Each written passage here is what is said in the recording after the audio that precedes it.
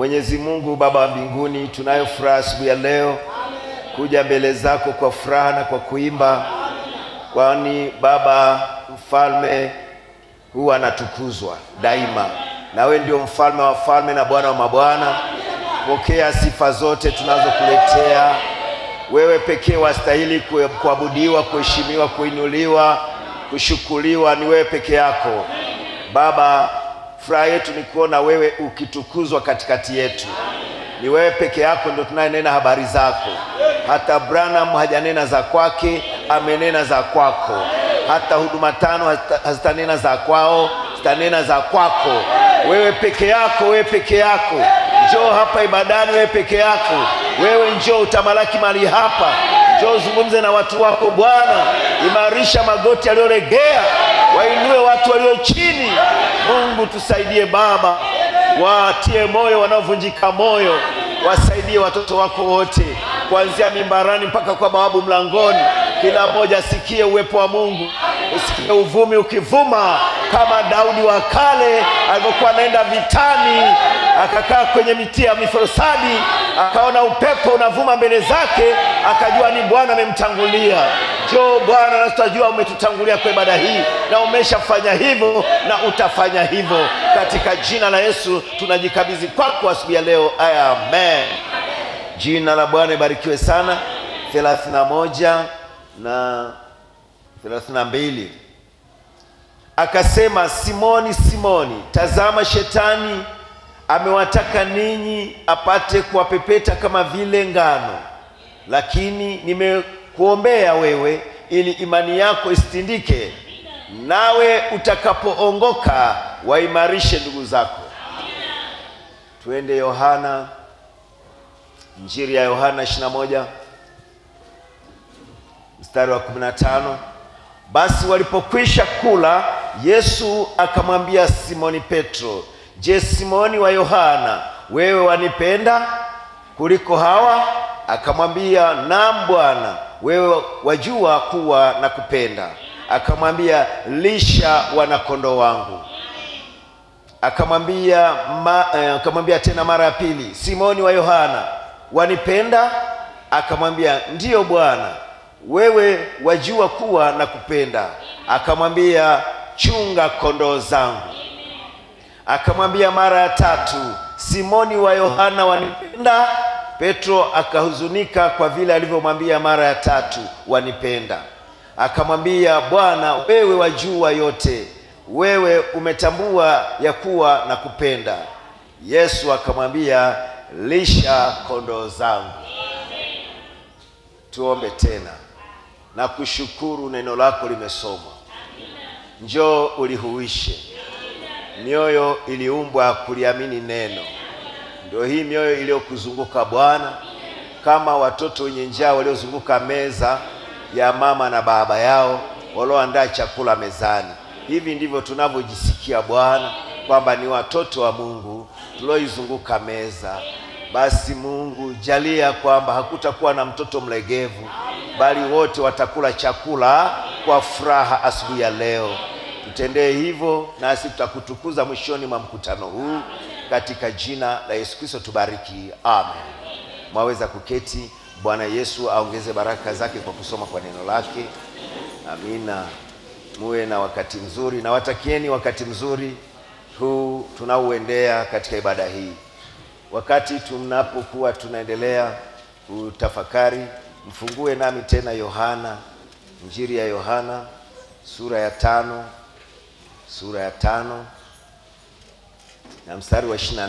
Amin, amin ninawaambia yeye alisikia neno langu na kumwamini yeye aliyenipeleka yuna uzima wa milele, wala haingii hukumuni, bali amepita kutoka mautini kuingia uzimani.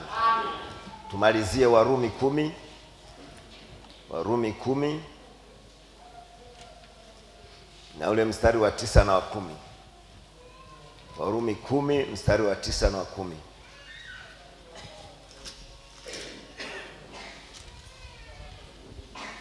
Kwa sababu ukimkiri Yesu kwa kinywa chako ya kuwa ni Bwana na kumwamini ku, na kuamini moyoni mwako ya kuwa Mungu alimfufua katika wafu, utaokoka. Kwa maana kwa moyo mtu huamini hata kupata haki, na kwa kinywa hukiri hata kupata wokovu. Na ujumbe wangu asubuhi ya leo utakuwa nawe, utakapoongoka waimarishe ndugu zako. Jina la Bwana ibarikiwe sana. Ni neno kubwa sana la ajabu. Petro anaambiwa utakapoongoka waimarishe ndugu zako. Petro ambaye alikuwa amemfuata Yesu miaka mitatu na nusu, kwamba hakuwa ameongoka. Tofautishe kuokoka na kuongoka. Leo tutajifunza pia hiyo, lakini hapa Yesu akumwambia utakapoongoka, hajasema utakapookoka, amesema utakapookoka, amesema utakapoongoka waimarishe ndugu zako. Na Nataka ninukuu hapa ili uone Yesu alikuwa anamaanisha nini kuongoka. Amen. Kitabu cha maswali na majibu juu ya Roho Mtakatifu ni mwaka 59 mwezi wa 12 tarehe 19. Yesu katika Luka 24:49 alikuwa amewaagiza mitume baada ya wao kuokolewa na kutakaswa kulingana na neno, kuhesabiwa haki kwa kumwamini Bwana Yesu, kutakaswa katika e, kwa Yohana 17:17 Yesu aliposema uwatakase Baba na kweli, neno lako ni kweli, na yeye alikuwa neno. Hiyo nilikuwa nasoma ni aya 49, naenda aya 39, aya 40. Sasa akawapa nguvu za kuponya wagonjwa, kutoa pepo, kuwafufua wafu, nao wakarudi wakifurahi, na majina yao yalikuwa kwenye kile kitabu cha uzima cha mwanakondoo. Mwakumbuka jinsi tumeeleza hayo sasa, lakini hawakuwa wameongoka bado. Yesu alimwambia Petro usiku wa kusulubiwa kwake, akasema, nawe utakapoongoka waimarishe ndugu zako. Amina, tuko pamoja wapenzi. Kwenye ujumbe mwingine hapa anaunganisha Mungu akijificha katika urahisi, aya ya mia tatu thelathini na saba. Ni wangapi wenu zaidi hapa ndani wanaomtaka Roho Mtakatifu? Okay, mikono mingi sana. Hebu na tuone mkono wako ni wangapi? Moja, mbili, tatu, nne. Lo, jamani, jamani, hakuna haja ya kwenda bila kumpata yeye. Kuna wanane ama kumi hapa, kumi na moja kama kumi na moja kumi na mbili kumi na wawili pengine hapa, hapa ndani wanaohitaji Roho Mtakatifu bado. Hebu najua huenda tunachelewa labda saa tatu na nusu ama kitu kama hicho, lakini tuna tuna wakati mwingi, tuna wakati mwingi tu hapa, hatuchelewi. Mimi hapa nina masaa mawili ya kuhubiri, kwa hiyo utaelewa tu na utampokea tu. Amen. Tunataka wewe uokolewe rafiki, tunataka wewe ujazwe. Haleluya! Kumbuka umeokolewa bila shaka. Unapomkubali Kristo umeokoka, bali hujaongoka mpaka umpokee Roho Mtakatifu. Sasa unajua jambo hilo, hiyo ni kweli. Yesu alimwambia Petro ule usiku wa kusalitiwa, alikuwa ameokoka tayari. Petro alikuwa alishaokoka tayari, lakini Yesu alimwambia kasema, sasa ukishaongoka watie nguvu ndugu zako. Hiyo ni kweli. Lo, hakika ulimkubali Kristo kama mwokozi wako, lakini unapoongoka ndipo unapobadilika kweli. Hiyo ni kweli. Naye hakuwa amebadilika bado. Yeye alilaani mbele za Bwana na kumkana na kila kitu, lakini bado eh, sorry, lakini baada ya kuongoka kwake, ukishaongoka watie ndugu zako watie nguvu ndugu zako. Hiyo ni kweli. Je hiyo ni kweli? Kusanyiko linasema amina. Hiyo ni kweli. Maandiko yanavyosema. yana- hata hivyo hilo lin- linalifanya kuwa kweli yesu alimwambia petro ambaye alikuwa amem, amemfu, amemfuata na kutoa pepo na kufanya miujiza na kila kitu kasema hujaongoka bado. Lakini ukiisha kuongoka basi watie nguvu ndugu zako. Vema ni kweli sasa. Kwa nini usinini? Bwana tujalie sana. Mnampenda? Mko tayari? Ndugu waweza kuja hapa mkarimani wangu kwenye ujumbe wa god's provided way of healing. Njia ya uponyaji iliyotolewa na mungu. Aya 27 peter has been justified petro alikuwa amehesabiwa haki and he believed on the lord jesus christ. na alikuwa amemwamini bwana yesu kristo. He had even preached the gospel. Alikuwa hata anahubiri injili. But jesus told him lakini yesu alimwambia after you are converted baada ya kuongoka kwako then strengthen your brethren ndipo watie nguvu ndugu zako. See? Unaona? After you are converted. Baada ya kuongoka kwako. Jina la bwana ibarikiwe sana. Tuko pamoja kanisa amen Convert, conversion kuongoka is the holy God. anasema conversion kuongoka Yeah. is the holy spirit that moves the old nature out yeah. ni roho mtakatifu anayesukumia mbali ama anayesukumia nje ile asili ya kale and then new nature comes in ndipo asili mpya inaingia which is the holy ghost. ambayo ni roho mtakatifu. And when a man has truly been born of the spirit of god na wakati mtu amezaliwa kiukweli na roho wa mungu he has everlasting life. yeye ana uzima wa milele. Jesus said so. Yesu alisema hivyo amen. And when you are converted na wakati umeongoka strengthen thy brethren. watie nguvu ndugu zako. Amina. Kwa nawaalika asubuhi ya leo wale walioongoka tayari wameagizwa na bwana wawatie nguvu ndugu zao wawaimarishe ndugu zao. Haleluya! Miongoni mwetu kuna watu wameongoka. Baada ya kuokoka pia waliongoka baada ya kumpokea bwana yesu kuwa ni bwana mwokozi wa maisha yao wakazaliwa mara ya pili. Pia walijazwa na roho wa mungu. Hao wameagizwa kuwatia nguvu ndugu zao. Kuwaimarisha ndugu zao. Hebu twende kuwaimarisha manake nini? Strengthen kuwatia kuwaimarisha.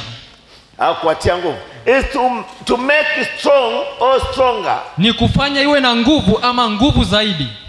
Strengthening, eh, strengthening kutia nguvu. Is an act of increasing the strength ni of kitendo. someone ni kitendo cha kuongo, kuongeza nguvu za mtu fulani. Is the is to encourage ni kutia moyo. to fix in resolution kuweka katika hali fulani. Reinforce. Ku, ku, ku, nguvu kutia nguvu. kutia nguvu. Is to add strength. Ni kuongeza nguvu. Or is to support someone au ni, to kum, be strong or stronger. au ni kumsaidia mtu fulani awe na nguvu ama nguvu zaidi. To make them mighty men. Kuwafanya wawe watu wenye nguvu. To take their infirmities kuondoa away from them. kuondoa udhaifu kutoka kwao. So they can be stronger. Ili waweze kuwa na nguvu. To encourage them. Kuwatia moyo that are weary and are falling by the wayside.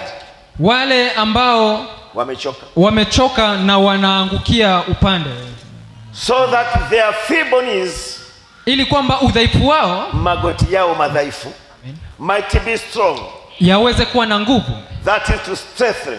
Hiyo ni kutia nguvu. Jina la bwana barikiwe sana nami mioja, mi, mimi ni mmoja miongoni mwa watu waliopata neema kuwatia ndugu zao nguvu. Haleluya! Kwa neema ya mungu. Nalisema hilo kwa unyenyekevu.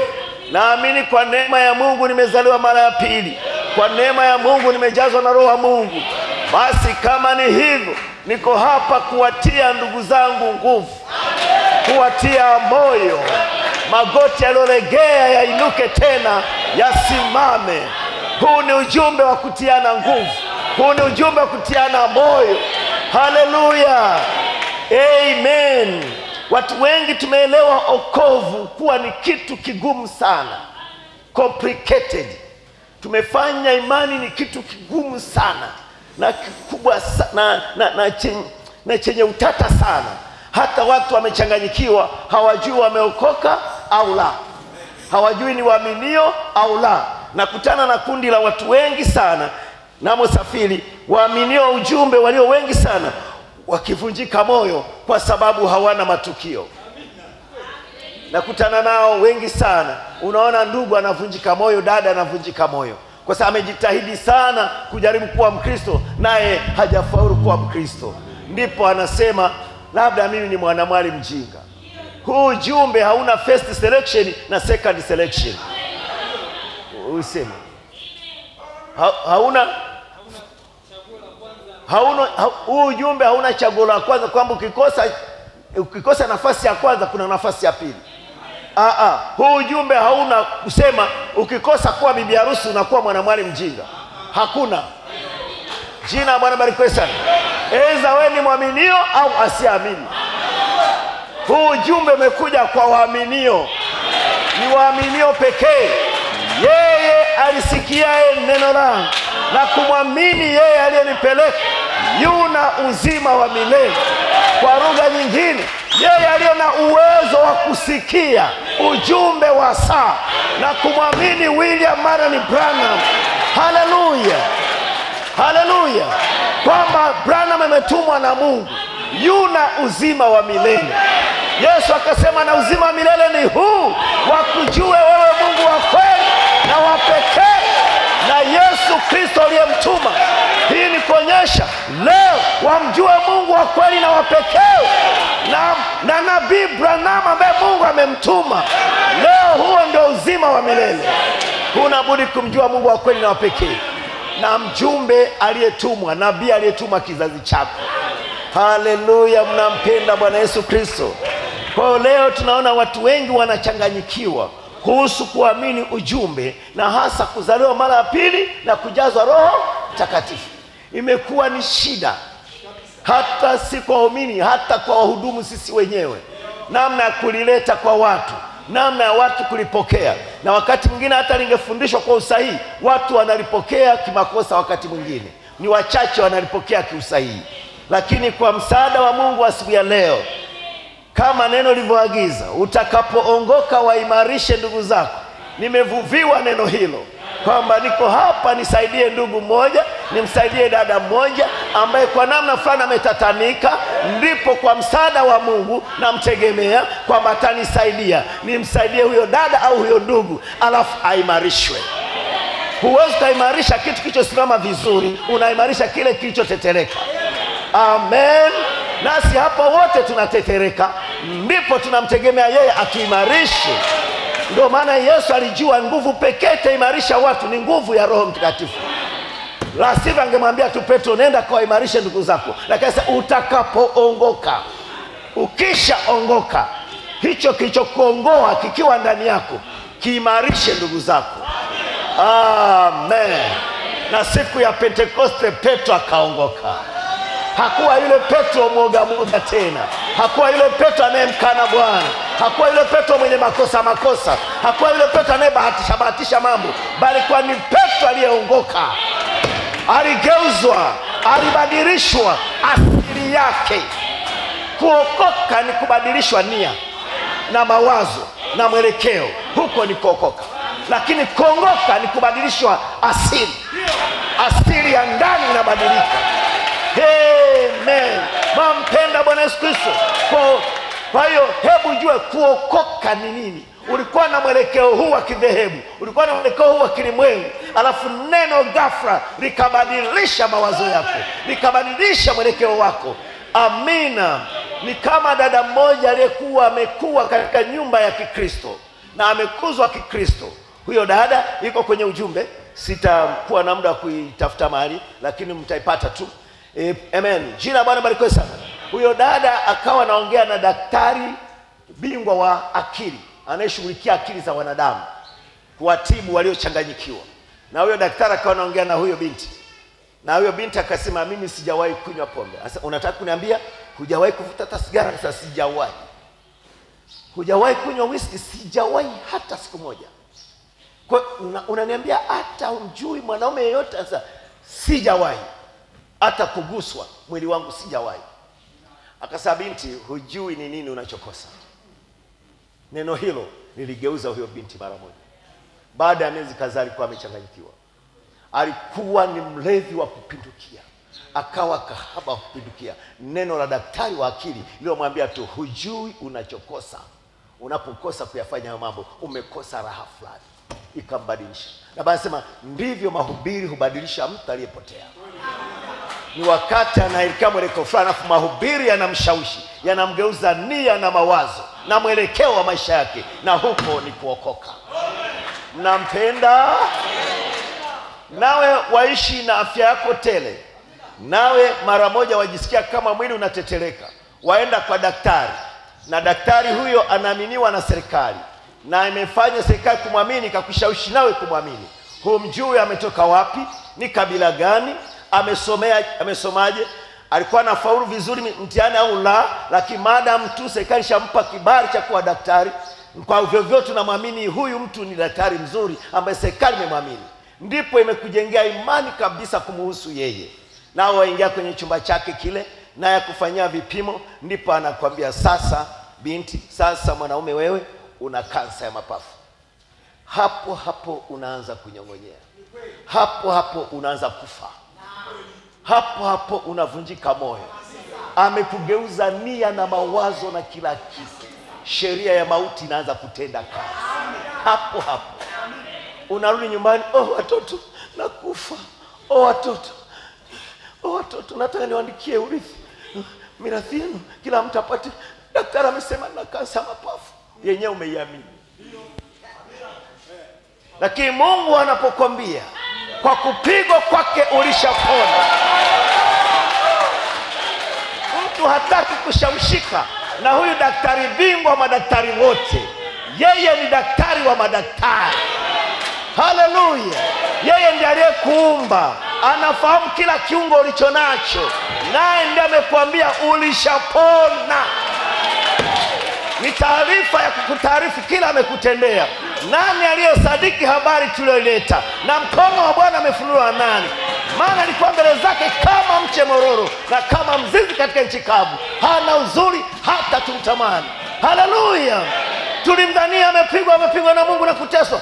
Bali alijeruhiwa kwa makosa yetu. Alichubuliwa kwa maovu yetu. Adhabu ya amani yake ilikuwa juu yetu juu yake. Na kwa kupigwa kwake sisi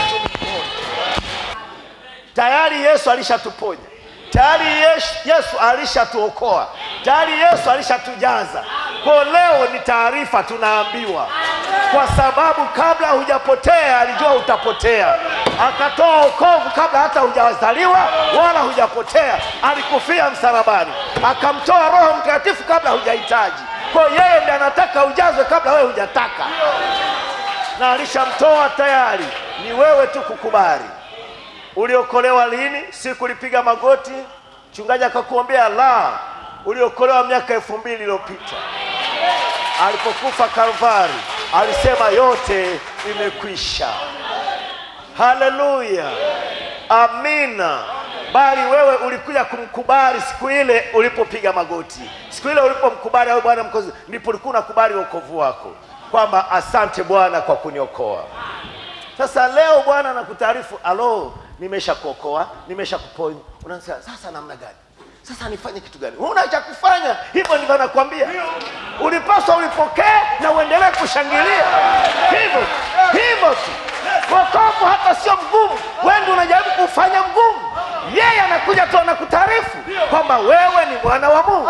Wewe ni binti wa mungu. Ulichagua kabla kwa msingi ya dunia. Anakutaarifu tayari kwamba wewe uko hivyo. Alafu unaanza kukataa unaanza kukataa kwamba mimi ah, hivyo ndivyo yeye anavyokwambia aliyekuumba na atakee hukumu mhakimu wa mbingu na nchi ndiye anakwambia huna dhambi na umeokolewa na umeponywa ulipaswa ulipokee kwa furaha hivyo Bwana tujalie sana. Mwampenda? Amen. Jina la Bwana ibarikiwe sana. Oh, haleluya. Okay, bado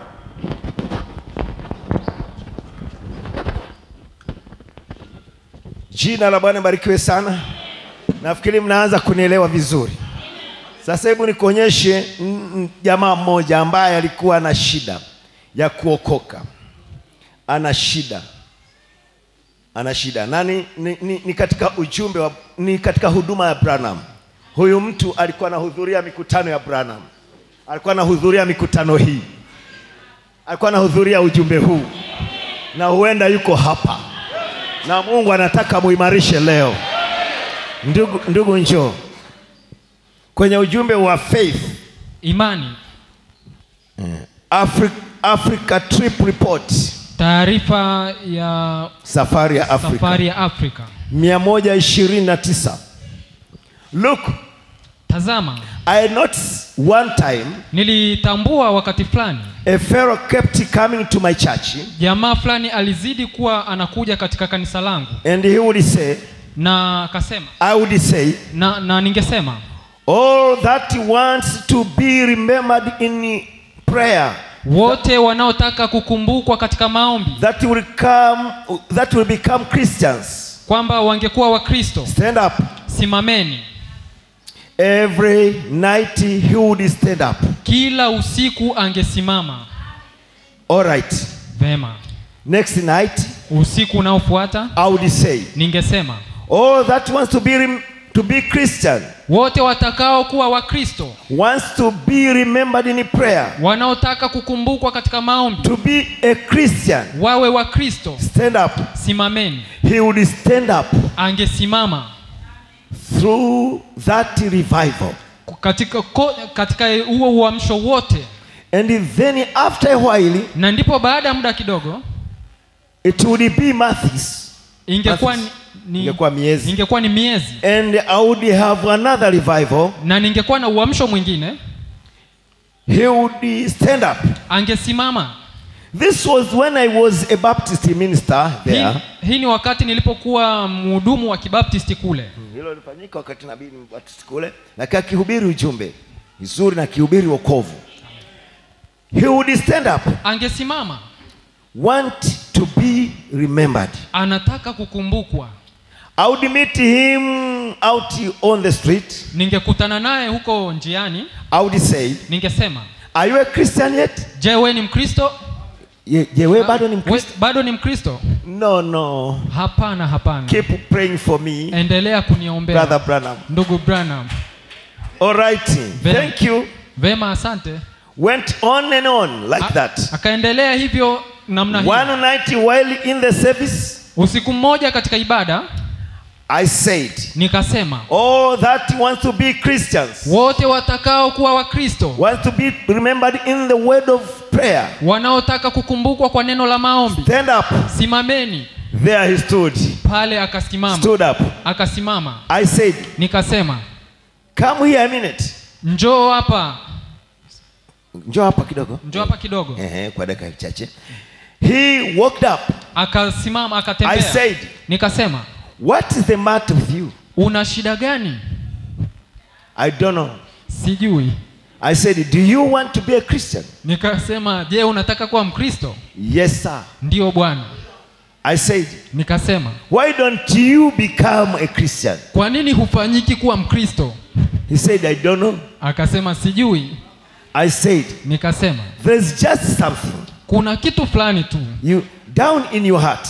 Chini katika moyo wako You want to be a Christian, unataka kuwa mkristo but there is something that won't let you be a Christian. lakini kuna kitu fulani ambacho hakita kuruhusu uwe mkristo Is that right? je hiyo ni sahihi He said, That is that is it. akasema sawa kabisa ndilo hilo I said, nikasema That is the devil. huyo ni shetani And that is unbelief.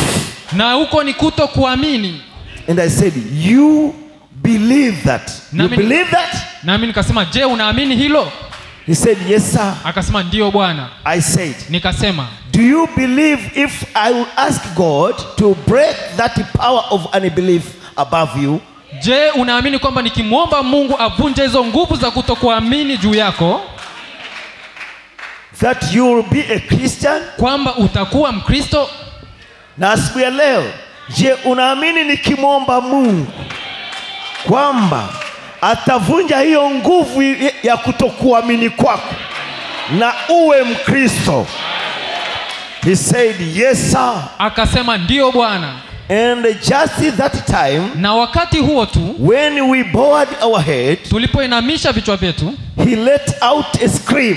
alipiga yowe He jumped up in the Akaruka air juu. like that. akaruka juu hewani namna hiyo It was gone. ilikuwa imekwisha And the man is a starchy Christian today. na huyo mtu ni mkristo Hodari, Hodari leo. leo. Au Mkristo imara mpaka leo. Jina la Bwana barikiwe sana. Watch tazama just the devil. ni shetani tu That unbelief. huo uko kutokuamini That little odd sneak, snacking thing there. hilo jambo dogo gumu pale Little shadow to keep him from, break, from breaking into it. uvuli mdogo unaokuzuia usiingilie jambo hilo Usini- usimwagikie kwenye hilo jambo Amin. siwe usi, yani kuna kuna kivuli kidogo kinakufanya usi, usiwe huru ulisha ulishatekwa. Huna amani na ukristo. Ukiingia ibadani una huzuni.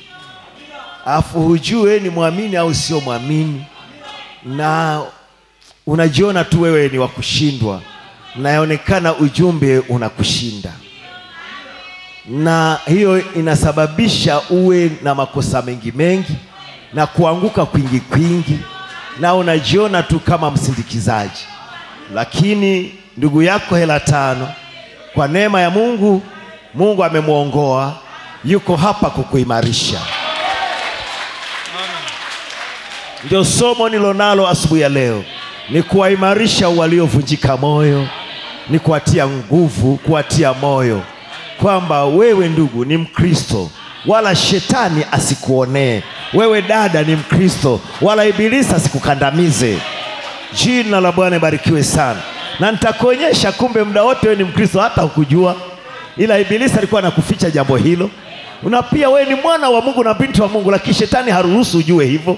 Kwa sababu ndio mashaka tu ya kwanza ambayo shetani humpa mwamini. Hata alifanya hivyo kwa yesu ikiwa wewe ni mwana wa mungu. Yaani ajishuku yeye sio mwana wa mungu ikiwa wewe ni mkristo. Kama ungekuwa mkristo mwaminio ungefanya hivyo. Ndio mambo anayokuonyesha. Anakuonyesha makosa yako yote na anaku, anakuhubiria kwamba wewe sio mwamini. Na unamkubalia. Ona na pale ona na pale ulivyofanya ona na pale ona na hii na mkosi ukaingia. Mbona uliomba na pale? Uliona hata kujibiwa. Hiyo ndio anavyokusomesha. Lakini leo tunaivunja hiyo nguvu kwa msaada wa mungu sikiliza ndugu yangu. Mm, njoo ndugu. Narudia hiyo watch. Tazama.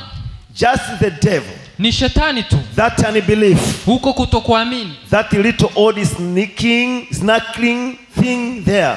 Hilo jambo dogo ilokushikilia hapo. lilokushikilia hapo. Little shadow to keep him from breaking into it. Kivuli kidogo kinachokuzuia usimwagikie katika jambo hilo and the same thing is by healing na ni jambo hilo hilo kwa uponyaji. umeombewa na kuombewa na kuombewa. Kila wakishaita wadhaifu umo. Wakishaita wadhaifu umo. Kwani uponywi? Nataka kuponywa ndugu ya tano endelea kuniombea. Kila wakita wito wa, kupo, wa madhabahu ya kuponya umo. Na jana ulikuja na wiki iliyopita ulikuja na mwezi uliopita ule ulikujaga na mwaka jana ulikujaga kwa shida hiyo hiyo moja hiyo ni roho ya kutokuamini.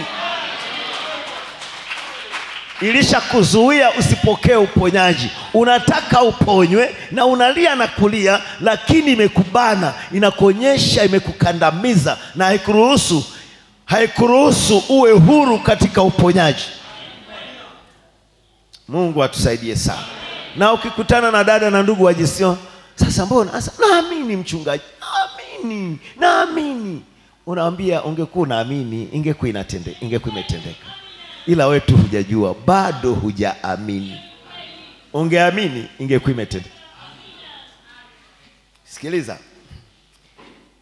And the, and, and, and the, the same thing is by healing. Na ni jambo hilo hilo kwa uponyaji. You say unasema well i've been sick a long time. Vema nimekuwa mgonjwa kwa muda mrefu. Oh, been crippled, crippled uh, a long time. Au nimekuwa mlemavu kwa muda mrefu. I couldn't improve, improve from this condition. Sijaweza kuimarika katika hii hali. Oh yes you can. Vema unaweza. Jesus christ said yesu alisema whosoever things you desire chochote unachokitaka. yoyote uyatakayo. Eh? when you pray mnapoomba believe you receive it. Aminini you shall have it. Mtakuwa nayo. I believe it. Na mliamini hilo. I believe it. Ninaliamini hilo. Don't you? Je hamwamini? All right. Yesu alisema yoyote muyaombayo mkisali aminini kuwa mmeyapokea ndipo yatakuwa yenu. Mkishaomba amini tayari imetendeka hata hujaona imesogea hata hujaona hata dalili yoyote amini mungu ni kweli na hiyo imekwisha. Na unapoamini hivyo ukaendelea kuamini inatendeka. Sikiliza nabii anavyosema tunavyopaswa kuamini. Tunavyopaswa wengi hawajui unaaminije. The manifestation of the spirit. The manifestation of the spirit. Uh, madhihirisho ya roho. Ya roho ni madhihirisho ya roho aya ishiri moja. You believe you are saved. Una, you amini. believe you are saved. Unaamini Au wewe amini. amini umeokolewa? You act like you are saved. Tenda kama umeokolewa. You say you are saved. Sema umeokolewa. And you associate with those that are saved. Nafanya ushirika na wale waliookolewa. And it works salvation. Na italeta wokovu. Amen mara unapomkiri kristo kuwa ni bwana na mwokozi wako wa maisha yako ukatubu ukabatizwa hiyo imekwisha. Umepata ondoleo la dhambi zako. Nawe umekuwa mkristo tangia wakati huo na kuendelea. Amini umeokolewa. Shuhudia umeokolewa. Tembea kama mtu aliyeokolewa. Ambatana na watu waliookolewa endelea kusema umeokolewa. Waambie watu wote umeokolewa. Na baada ya muda utaona umeokolewa. Amen. Ukishaombewa amini kwamba umeponywa. Shuhudia umeponywa. Tembea na watu walioponywa. Enda kusema umepona. Yeye ni kuhani mkuu mwaminifu wa maungamo yako. Kile unachokili ndicho yeye huwa anaunga mkono. Haleluya wala usiangalie dalili wala usiangalie ishara usiangalie sio mkono bado haujanyoka usiangalie sio vidonda vya tumbo bado hujapona. Endelea kushuhudia umepona endelea kuhubiri umepona wahubirie watu umepona kisha mungu ataleta uponyaji. Hivyo ndivyo ninavyotenda kazi. Paulo akamshauri Timotheo, asa jionyeshe kwamba umekubaliwa mbele za mungu. Jionyeshe umekubaliwa jionyeshe asubuhi ya leo kwamba wewe ni mwana na binti wa mungu. Jionyeshe wewe ni mtu mtu mwaminio mtu imara. Hata kama unaanguka usiku na mchana saa mimi ni mwaminio. Shetani usinibabaishe petro alianguka mara ngapi? Alimkana hata bwana lakini baada alienda kusema mimi ni mwaminio. Ibrahimu alianguka mara ngapi? Mara nyingi sana wametoka harani wamekwenda nchi ya ahadi. Wamefika pale. Akasema sara wajisikiaje? Asa hamna dalili yoyote. Asa jina la bwana itukuzwe baada ya miaka kadhaa sara anamshawishi chukua hajiri uzae mtoto. Na anafanya hivyo mwamini aliyerudi nyuma. Baada ya hapo samani kabla ya kabla hajazaa mtoto anamwambia mungu mbona hunipi mtoto? Mbona nazeeka na nchi ulioniambia niirithi mbona hata sina pa kuweka mguu? Aliambiwa kairithi nchi na watu wamo. Mungu anapokupa ahadi ya kitu hukiweka, huiweke hiyo ahadi nyuma ya adui. Unapaswa pambane na adui ili uitwae ahadi yako. Hajaweka hiyo ahadi kizembezembe. Ameiweka nyuma ya adui. Huna budi kumpiga adui alafu utwae haki zako lakini anataka kwanza ujitambue kwamba wewe ni mwana wake, wewe ni binti wake, na hiyo ni haki yako. Akaenda kwenye nchi ya ahadi, hata pa kuweka mguu hana. Anawaomba watu mahali pa kujenga kibanda, na ni nchi ya ahadi. Na Mungu amesema twende nikakuonyeshe nchi iliyo pana tena nzuri. Acha nchi yako, acha nyumba ya babako, acha ndugu zako, jitenge na kila kitu, nitakuonyesha nchi nyingine ambayo itakuwa urithi kwako. Akaacha eka yake, eka yake moja aliyokuwa amegawiwa na baba yake pale, akaiacha kaacha nyumba yake, kaacha ndugu zake, akaenda mahali ambako Mungu amemwambia utapewa nchi. Anakuta watu wa nchi ile, kila mtu amemiliki eneo lake, alafu Mungu amemwambia anakupa, alafu Mungu hakuwatoa. Biblia inasema Ibrahimu hata hakuwa na pakuweka unyayo wa mguu, hata pakuweka unyayo wa mguu alikuwa hana. Leo Mungu amekuita uache mawazo yako, uache nchi yako, uache jamaa yako, uache madhehebu yako, alafu anataka kupe nchi nzuri, mahali pazuri pa kiroho, alafu unaingia kwenye ujumbe. Hata kujaribu ni ngumu, ukiomba ni ngumu, ukisoma unayoyasoma na unayoishi ni kinyume. Alafu hata hivyo umepewa hiyo. Hivyo ndivyo Mungu ameiweka, na anataka watu hodari na watu mashujaa na wasio na woga waweza kuitoa nchi bila woga, kama Joshua waitwaye nchi.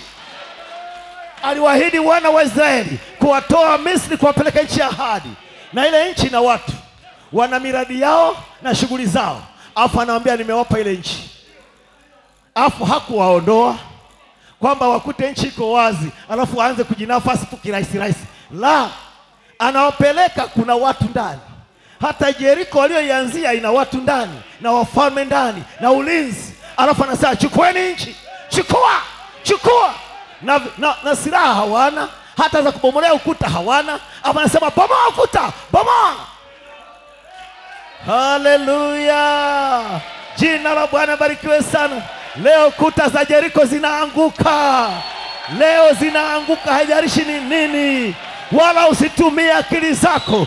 Msikize yeye amri jeshi anavyokuamuru, akikwambia kanyaga, kanyaga. Asema nyosha mguu, nyosha. Asema nyosha mkono, nyosha. Wewe fanya anavyosema, alafu atatenda mwenyewe wala usitumie akili zako. Vile utajazwa, vile utaponywa, vile utakuwa mtu mzuri. Usitumie akili zako, yeye atatenda mwenyewe. Wale waliotazama kwa akili, wakaangalia mazingira kiakili, ukuta mkubwa, watu warefu, mikuki mirefu, wa nchi ya wala watu, waliangalia kwa macho wakakatisha ndugu zao tamaa. Sisi tumeambiwa waimarisheni ndugu zenu, waimarishe, watie moyo, wasivunjike moyo.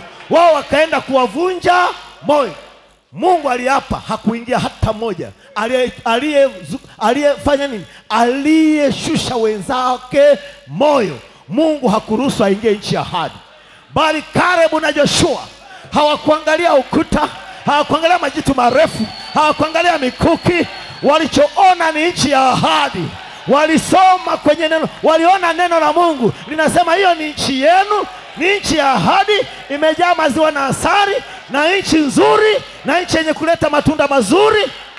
Kwa ushahidi, wakakata kichara cha zabibu kinachotosha kubeba mzigo wa watu wawili, wakapitisha mti katikati, wakabeba kwenye mabega yao, wakaanza kutweta kurudi kuwaonyesha ndugu zao. Haleluya, jina la Bwana barikiwe sana. Na hapa asubuhi ya leo tuna kichara cha zabibu tumekibeba leo. Makuhani hawa wamebeba kichara cha zabibu, twamba twendeni, tuitwae nchi yetu, twendeni mara moja, sisi ni washindi na zaidi ya washindi. Wakaja wakatua ule mzigo, wakakuta watu wamevunjika moyo. Nani aliyowafadhaisha? Kukuta wamevunjika moyo. Baadhi ya watu wamekuvunja moyo. Unajua wewe huna tukio, unajua wewe hujaiona nguzo za moto, unajua wewe sio bibi harusi kama hujaiona nguzo za moto, kama hujazaliwa mara, kama hujafanya nini. Yote hayo ni ya kuvunja moyo, lakini wapo watakao kuimarisha kwamba usife moyo, usife moyo, unajua kicho kutoa madhehebuni? Ni nini kicho kutoa madhehebuni mpaka ukaja kwenye neno zuri na ibada zuri namna hii. Nini kilifanyika mpaka ukatoka kwenye dhehebu? Hicho ndicho kitakuendesha moja kwa moja mpaka ufanyike mkamilifu. Amen. Joshua na karebu na bana sana naweza kumwona joshua. Alikuwa mfupi wa kimo. Alikuwa mfupi wa kimo. Haonekani vizuri miongoni mwa israeli. Anasema akatafuta mahali pana kakilima pana kamwinuko kakubwa akapanda pale akajipiga kifua akasema wapendwa twendeni tuitwae nchi ni nchi yetu na wale watu ni chakula chetu tutawashinda. Sisi ni washindi na zaidi ya washindi. Akajipiga kifua. Watu wakachukua mawe wawapige karibu na yoshua. Mungu akaingilia kata kaja kawafunika na utukufu. Na mungu ataingilia kata asubuhi ya leo atafunika utukufu wa watoto wa mungu wanaoamini. Akasema sisi hatumo miongoni mwa wanaositasita haleluya! Tuko miongoni mwa wanaoamini. Hatuoni upinzani wowote hatuoni vizuizi vyovyote. Humu ndani mlishawaka moto moto wa Injili. haleluya! Amen. Usife moyo. Angalia huyu mpendwa aliyekuwa anakuja kwenye huduma ya branham. Kila wakati ukitwa wito madhabahu wa watu wanaotaka kuamini yumo. Baada ya ufufuo huo ufufuo mwingine yumo. Usiku unaofuata ikiitwa yumo mpaka nabii akamkariri maana amekuja mara nyingi nyingi. Sasa una shida gani we bwana? Hivi kwa nini huyu mkristo? Hasa sijui. Lakini unataka kuwa. Sasa ndio. Lakini kwa nini usiwe mkristo? Sasa hata mimi sijui ndi akamwambia ni roho wa ibilisi wa kuto kuamini hakuachilii umwagike hakuachilii utumbukie kwenye hii. Anaendelea kukufanya wewe haiwezekani. Mungu na atusaidie asubuhi ya leo kwamba tutaivunja hiyo roho ya ibilisi kwa msaada wa mungu. Bwana yesu abariki sana. Na kuletea kisa kingine cha mwamini aliyekuwa ni mwamini mzuri hakujua yeye ni mwamini mzuri. Muda wote alijua bado hajaokoka. Huyu hapa. Kwenye ujumbe wa kwenye ujumbe huu hapa unaitwa neno lililo li, neno lilifanyika mwili. Neno lilifanyika mwili. Taarifa ya ziara ya india ile ilikuwa ni ziara ya afrika sasa hii ni ziara ya india aya mia moja themanini na tisa kwa kiswahili nasoma mtu anapoongoka eh, sorry, sorry, sorry. Mm -hmm. sorry, hapa hapa mtu anapoongoka haimaanishi kwamba desh desh akaachia hili hapa fu, fundisho zuri lenye kilindi. Natumaini, natumaini mnalipata. Wakati fulani uliopita nilikuwa tu nikiwaambia wavulana fulani hivi majuzi. Mtu mmoja aliketi barazani pangu akasema ndugu branham wakati mmoja nilikuwa mfanyabiashara. Nami nimetumia miaka mingi nikijaribu kuokoka. Umetumia miaka mingi kujaribu kuwa mwaminio umetumia muda mwingi kujaribu kupona. Na huyu alikuwa ametumia miaka mingi kujaribu kuwa kuokoka. Huku akiniambia shida zake zote akasema mke wake alishuka kaenda na kumpokea roho. Wala asingeweza shideshi yeye asingeweza kumpata roho. Nikasema una maana gani ndugu naye akaniambia ali, ali, akaniambia alikotoka na akajieleza akasema nikasema ati unajaribu kuokoka? Akasema naam ninajaribu kuokoka. Nami nikasema bwana nika, nami nikasema bwana anataka. Wala si jambo la wewe kujaribu. Bwana anataka. Yule mtu mmoja akamwambia akamwambia yesu bwana ukitaka ukitaka nipone ukoma Yesu akasema nataka. Ndio maana yeye kuja, yeye anataka kuokoe, yeye anataka kuponye, wala sio jambo la kujaribu, anataka. Amen. Nikasema Bwana anataka, kasema naamini nimevuka mpaka, ndugu Branham, ambapo huwezi kuokoka. Yeye akawa naamini amevuka mstari wa rehema, kwa sababu alijieleza hadi maisha yake na anavyoshindwa shindwa na anavyoanguka anguka, alijieleza yote. Na nimejaribu kuwa Mkristo, brother Branham, sijafaulu mpaka leo. Nimetoka dhehebu kwenda dhehebu kujaribu kuokoka. Ehe. Nikasema lo, sijui. Aliposema labda nimepita mpaka, nimevuka mpaka, na basi lo, sijui. Kasema angalia, nilienda kwenye mikutano ya Billy Graham. Huyo mtu anamweleza Branham, nilienda kwenye mkutano ya Billy Graham, mhubiri mashuhuri maarufu, naye ni mtu wa ajabu wa Mungu, akini akim, akim, akimfanyia Mungu kazi kuu. Naye akasema nilienda kwenye mikutano yake, naye akasema wote wanaotaka kuokoka inueni mikono yenu. Kisha akasema niliinua mkono wangu, kisha nikaingia kwenye chumba cha maulizo. Kasema ndipo wakaniambia kule nyuma ilibidi kumkubali Yesu. Kisha akasema nilipiga magoti na kuomba, naye akaniambia sasa, je, unamwamini Yesu Kristo? Nikasema naam. Kasema ninamkubali kama mwokozi wa binafsi. Kasema kasema sasa umeokoka. Kasema hakuna kitu kilichotokea kwangu. Kasema nikaenda basi kwa miaka kadhaa, nami nikakutana na Wamethodisti huru ambao walisema ilinibidi kufurahi vya kutosha kupaza sauti au kupiga shangwe. Naye akasema wakaniombea na kila kitu mpaka nikapata furaha za kutosha kupaza sauti. Kasema wakasema sasa umempata ume, ume, umepata utakaso. Kasema nikatoka nje, kisha kasema nilikuwa nikitafuta yote niliyoweza. Kasema bado sikuwa naye. Kasema nikaenda kwenye mikutano ya ndugu Roberts, Oro, O Roberts. Akasema waliniingiza wali- chumbani na kuniambia ilinipasa kumpokea Roho Mtakatifu pia ilinibidi kunena kwa lugha, la sivyo sikumpata.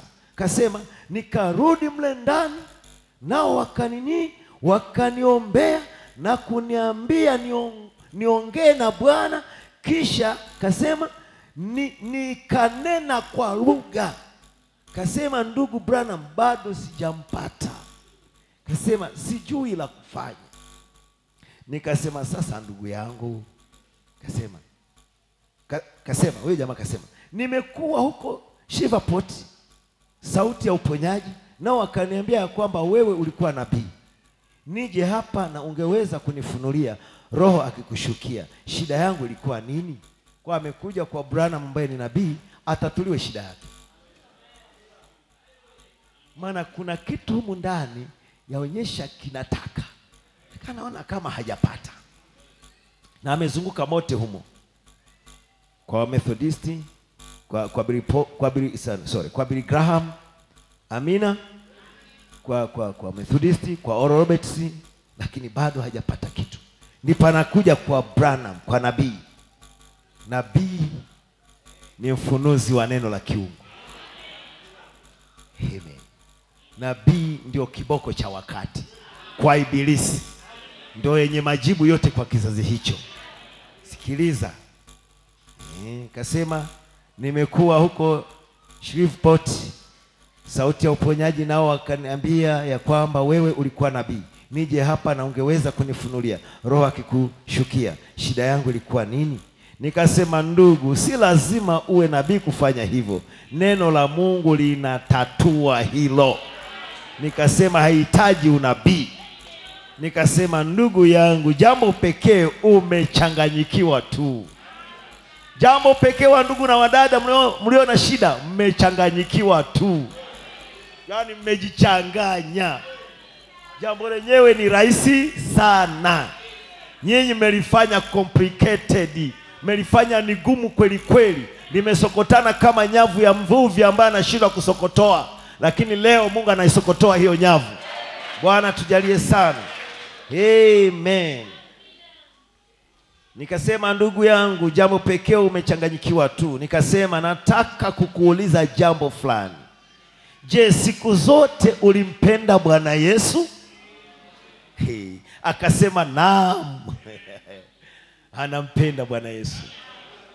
Nilikuwa mfuasi wa kanisa la Presbyterian, lakini kasema nilikwenda tu huko. Nikasema naam, nataka kukuuliza ilikuwaje? Nini kilifanyika hata ukabadilisha nia yako mara moja? Wewe ulikuwa kuwa tu mtu wa kawaida tu, lakini nini kilibadilisha nia ghafla ukaanza kutafuta wokovu? Nini kilitendeka mpaka ukaanza kwenda huko kwa Billy Graham, kwa Methodisti, mpaka kote huko kwa Roberts? Nini kilikuwa kilitendekaga nini mpaka hiyo ukaanza kutafuta hapa na pale? Nini kilitendekaga pale mwanzo? Amina. Kasema vema, mke wangu yeye alishuka kwenda kwa Pentekoste na akasema akampokea Roho, na kwa hiyo basi akarudi na kasema alikuwa na furaha. Kisha kasema nikasema ulifikiria, ulifikiri, eh, ulifikiria nini kuhusu hilo? Je, ulilikosoa? Akasema la. Akasema niliwazia tu, vema, nitaona muda litakalochukua. Kisha akasema liliendelea. Mke wangu alionekana, alikuja akanishuhudia amepokea Roho Mtakatifu kule kwenye maamsho ya Pentekoste, na alivyokuja siku sikushuku, sikukosoa, nilisema tungoja nione litadumu muda gani, lakini ikaonekana limedumu, limeendelea. Kasema ilionekana kuwa na, alionekana kuwa naye naye akasema siku moja nilikuwa niki nikiingia kutoka kufanya mauzo huko nje kwenye kitalu, ikawa nilitia mkono mfukoni mwangu na mtu fulani alikuwa amenipa kitini kidogo cha kale, kisha kasema nikaketi ofisini na kuanza kusoma kitini hiki. Kisha akasema hisia ya ajabu sana ikanijia. Amina. Huku wametafsiri hisia mbaya. Roho wa Mungu hawezi kukujia ukahisi hisia mbaya. Au kwa Kiingereza inaitwa our feeling. Sasa usitafsiri kama kisomi, kwa neno watu tafsiri kulingana na mazingira ya unachonena kitu. Kwa alihisi hisia ya ajabu sana, hali fulani kamjia wakati anasoma kile kitini, afu ilipomjia akawa na njaa ya Bwana. Naona wokovu unavyoingiaga. Amen. Oh. Nikasikia hisia hiyo ya ajabu sana ikanijia ya kwamba yanipasa kujiweka sawa na Mungu. Hiyo hisia ilivyomjia, akajisikia kujiweka sawa na Mungu, akajisikia kutubu, akajisikia kujiweka sawa, ndo akaanza kutafuta hapa na pale. Kuna kitu kimeingia tayari. Wengi tunaenda kuwabatiza bado hawajapata hiyo. Kwao tunawaloweka wenye dhambi, wanatoka tuna, wanatoka wana, wanakwenda wakavu wenye dhambi, wanaloa, wanarudi wenye dhambi walioloa. Tunapaswa tuwe tumepata watu ambao kuna kitu kilitendeka, alafu wakaanza kutafuta kujisalimisha, alafu ndipo mchungaji akamwombea au, au ndugu yeyote au dada yeyote ambaye yuko karibu akajiweka sawa kwa mnampokea Bwana Yesu kuwa ni Bwana mwokozi wa maisha kaza. Ndio, ndio huyu ukimpeleka kwenye maji inamaanisha inamaanisha kitu fulani. Amina. Kwenye mazishi hawazikagi mtu aliye hai, wanazikaga aliyekufa. Huna budi uwe umekufa kwa dhambi zako, umehukumiwa kwa dhambi zako. Ni wakati neno la Mungu limemulika maisha yako, afu kitu fulani cha ajabu ukakihisi kujiweka sawa na Bwana. Amina. Mwampenda Bwana Yesu Kristo? Amen. Oh, nafikiri mnaanza kunipata vizuri. Aha, kajisikia hiyo hisia ya ajabu, kasema nimekuwa nikitafuta tangu wakati huo. Unaona hiyo hiyo uko ilivyo yenyewe inashikiliaga, kwa hiyo ilivyomshika imemshika jumla, imemshika jumla. Naomba usikivu wakati Shemasa akiendelea kuweka utaratibu wake, ikamshika jumla na haikuachia ikaendelea kumshika, ndio maana imekuwa akitafuta hapa na pale. Sasa kabla sijafika hata mbali, nikwambie kuzaliwa mara ya pili ni kuamini kuliko shikilia. Huko ndiko kuzaliwa, huwa kumeshikilia jumla. Hata ungefanya nini, kuna kitu kilishatia nanga, hata hujifanyi. Na baada ya hicho kitu kutia nanga, madhehebu yote huwa feki, na kila hubiri nje ya jambo hilo lenyewe huwa ni feki, nje ya ujumbe huu huwa ni feki. Baada ya Petro ku, on, kuokoka, baada ya Petro kutambua ujumbe wa saa yake, baada ya Petro kugeuzwa na Yesu, pale ghafla alifuta mahubiri yote ya wanatheolojia wa kimafarisayo. Ndio maana mbele anasema tuende wapi? Wewe ndio na maneno ya uzima. Kuna kitu ndani kisha mwambia huyu ndiye ana uzima wa milele. Ikisha kujiaga inafuta vingine vyote. Hii message ukikuta bado iko kama Pentecoste, hujaona bado. Ukikuta hii message ni kama Moravian tu, hujaona bado. Hii message ikisha kumulikia na ndani yako kitu fulani kikawaka, haijarishi utarudi nyuma, utafanyaje? Huendi dhehebu lolote, huendi kokote. Na zaidi utakuta mtu fulani anayetangatanga, utamwambia ukitaka ukweli uende kwa wale watu. Wewe ukijua umejaribu, kama umeshindwa vile, lakini unajua kabisa ukweli uko pa na huamini kitu kingine chochote. Huko ni kuzaliwa mara ya pili.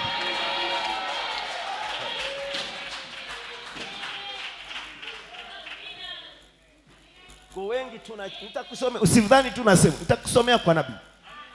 Wengi tunaichukua complicated, tunaanza unajua, unabudu upate hatua kuhesabiwa haki kufanya hivi, ndipo juu na mapinduzi. Ndio maana unaona matokeo yote hayo kama huna na matokeo yako unajiona wewe sio mkri sio Mkristo. Mungu anaweza kukuita hapo hapo dakika hii na akaku, akakuhesabia haki akakutakasa akakujaza dakika hiyo hiyo. Sasa wewe unakuwa na hesabu kwamba kuna hapa afu nije hapa, hivyo vitu huji kuviona. Ni Mungu akikuhubiria kilichofanyika kwenye ulimwengu wa roho, kilivyofanyika hatua, pengine kimefanyika kwa sekunde hii moja, lakini ku, anakuonyesha hatua kilivyofanyika. Kumbe zilikuwa hatua ndani kwa ndani nyingi nyingi, lakini tukio lenyewe lilikupata wakati mwingine mara hii. Wewe unasemaga mbona sina tukio, mbona sina hili, mbona sina, lakini nakuuliza, unampenda Bwana? Na huna huna namna ya kujiondoa kwake hata ukijivunga sana, lakini ukweli unaufahamu. Oh, Mungu nabariki sana. Hebu tumwone huyu, tumfuatilie, tumalize, maana huyu mtu amekuja kwa nabii ambalo ni kwa neno la wakati huu linamtatulia shida yake, na hapa tuko neno litutatulie shida. Tunamsikiza Branham yule yule aliyekuwa yule mtu anamuuliza, na sisi tuko kwa Branham leo. Amen. Nikasema nataka kukuuliza jambo fulani. Wakati hisia hii ilipokujia, hujawahi kujitoa kwayo? Akasema la, Bwana, sijawahi, bado ipo. Nikasema vema, hapo ndipo ulipompokea Kristo. Nikasema haimaanishi kuinua mkono hilo ulikuwa unaunga tu ile iliyotendeka. Ku, kuinua mkono ni baadaye, lakini kuna kitu kishatendeka tayari. Ha, haimaanishi kuinua mkono, hilo ni sawa. Kunena kwa lugha, hilo ni sawa. Kisha akasema kupaza sauti, hilo ni sawa, lakini hizo ni sifa za Mkristo akisha kuingia, ni sifa za Kristo akisha kuingia. Nikasema kumpokea Kristo ni kupokea mtu Kristo Yesu Kupokea, kumpokea yeye ni uzima. Nikasema kupaza sauti, kunena kwa lugha na madhisho yote, nikasema hizo ni sifa zinazofuata hili, lakini kwanza ni kumpokea Kristo. Nikasema basi ndugu, a, sorry, akasema basi ndugu Branham, hivi nimekuwa nimeokoka wakati wote? Nikasema hakika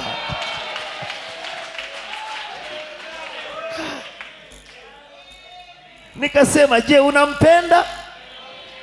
Akasema kwa moyo wangu wote. Nikasema wakati mmoja hukumpenda. Akasema hiyo ni kweli. Na sasa unampenda. Akasema naam hiyo ni kweli. Vema ulikuwa naye wakati wote.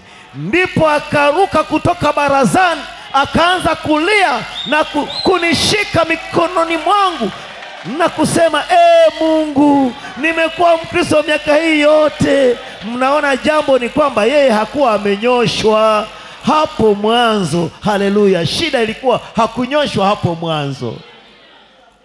Wengi mko hapa mishachanganyikiwa namna hiyo. Mnajionaga sio waamini. Shida tu kwa kuwa hujapokea nguvu ya kufanya uanguke na kiti. Ugaragare kanisani. Unavyoona wanaogaragara unafikiri ndio wenye nayo. Alafu wewe unajionaga wewe Nasema mbona mimi kanisani? Sijawahi kupata hata nguvu. Lakini kuulize unampenda bwana? Na kwa yote yaliyo ndani yako unajitahidi umuishie japo hujafaulu sawasawa lakini unajitahidi kutotenda dhambi. Na hata ukifanya kosa kidogo tu unaumia. Hiyo ni kuonyesha kuna kitu ndani. Kilindi kinaita kilindi. Una shauku ya kumtumikia mungu na huo ndio ukristo. Na wewe ni mkristo hodari kabisa. Wewe ni mkristo imara kabisa. Hiyo njaa ndani yako ambayo mara nyingi imejisikia haijajitoshe haijampata mungu wa kutosha kujaza. Na hiyo njaa umejaribu kuiridhisha kwa kila namna lakini kuna kitu kina njaa. Hiyo njaa na kiu ya haki. Hiyo ni yeye huwezi kawa na njaa isipokuwa yeye ameileta. Na hiyo njaa ya kutaka uwe sawa ndio inakufanya uitwe mkristo. Haleluya. Na hiyo ndio ukristo. Endelea kumtaka. Endelea tu kumtumikia. Alafu yeye atafanya yaliyosalia. Nini kinachompenda mungu? Ni ile ndani uliyomkubali kristo. Na tangu wakati huo aliingia akagusa utu wako na haijakuacha. Na siku zote imekushika. Twaja kwenye meza ya bwana kushiriki mkate na divai. Wengi wanavunjikaga moyo ukiambiwa wenye roho mtakatifu ndio wanaoshiriki. Nawe unakataa kushiriki kwa sababu huna tukio. Nikuulize mitume walikuwa wamefika pentekoste waliposhiriki meza ya bwana? Mbona yesu aliwaruhusu washiriki? Kwa sababu alijua ni waaminio na petro huyo aliyeshiriki alikuwa anaanguka usiku na lakini yesu alimjua ni mwaminio. Na akasema shetani atawapepeta kama na usiku huo ndo wanakula meza ya bwana. Sasa shetani atawapepeta kama ngano. Ila simoni nimekwisha kukuombea. Imani yako isitindike. Na utakapoongoka uimarishe ndugu zako. Kwa lugha nyingine yesu asingesema utakapoongoka. Alikuwa anajua mbele anajazwa hata iweje mbele atajazwa. Kwa akishiriki meza ya bwana hata hakuna shida maana tayari huyu ni mwaminio. Dada getie maskanini alikuwa ni dada mwenye sketi fupi nabii amekemea na kukemea dada yuko hapo akipiga kinanda huko ana sketi fupi. Watu wakamshambulia brana mbona mtu wako mwenyewe? Na bana sema ninajua kile dada alicho nabii akiwa nabii alikuwa mungu amemwonyesha kile dada alicho. Alikuwa ameshaona ni mwaminio. Ameokoka lakini hajaongoka. Kuokoka ni kumkubali kristo kuwa bwana na mwokozi wa maisha yako. Afu kuna upendo ulishakuja. Mpaka unajionea aibu mbele zake. Bwana sijatosha. Ona nivyo na makosa mengi. Ona nivyo mpungufu kwa nini unajiona mpungufu? Tayari ushaona ukamilifu. Ndio unajiona kwa jinsi ya kio rohoni. Unajiona hujatosha. Huo uwezo wa kuona hujatosha. Ndio ukristo wenyewe. Kuna kitu kinaona unavyotakiwa uwe alafu unajiona hujatosha. Mwingine hata hajari dhambi yoyote kwa sababu hajipimi kwa chochote. Wala hajari kitu chochote. Lakini wewe hata ka kitu kadogo hivi ukikosea unaumia sana. Hata huna raha kwa sababu unajiona una makosa mengi mpaka unajionea aibu mbele za mungu. Mungu mimi si kama wengine. Naona wenzangu kama wana nafuu. Mi ndo mdhaifu hapa kanisani kuliko wote. Mungu nitatoka lini kwenye hali hii? Hiyo hali inayomtaka mungu. Ndio ukristo. Ndio ukristo wenyewe.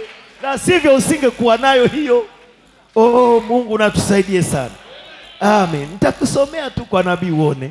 Dada moja anaitwa dada Bruce alikuwa mgonjwa hospitalini na wakamtibu, wakafikia mahali kuinua mikono madaktari kwamba ugonjwa huu haiwezekani kupona, akarudishwa nyumbani afe.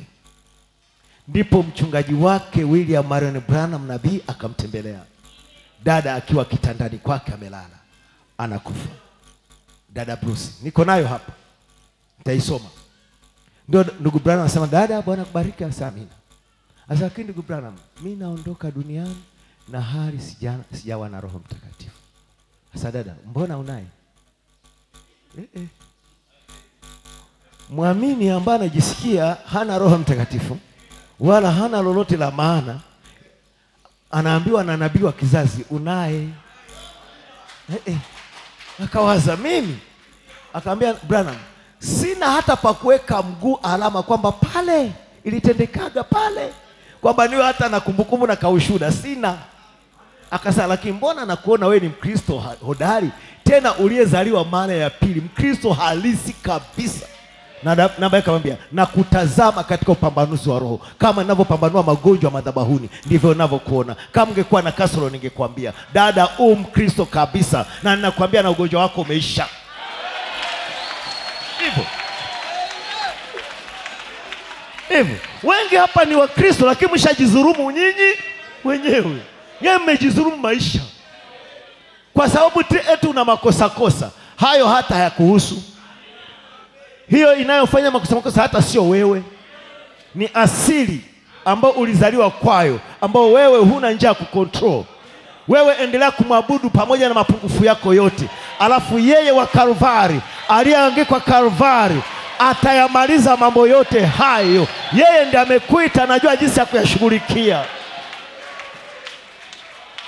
Ukitaka unashughulikia kila shida fulani ya udhaifu wako, ni kama tu ungempata chui akijilambalamba yale mabaka kuyafuta kwa ulimi, ndipo anafanya yang'ae zaidi.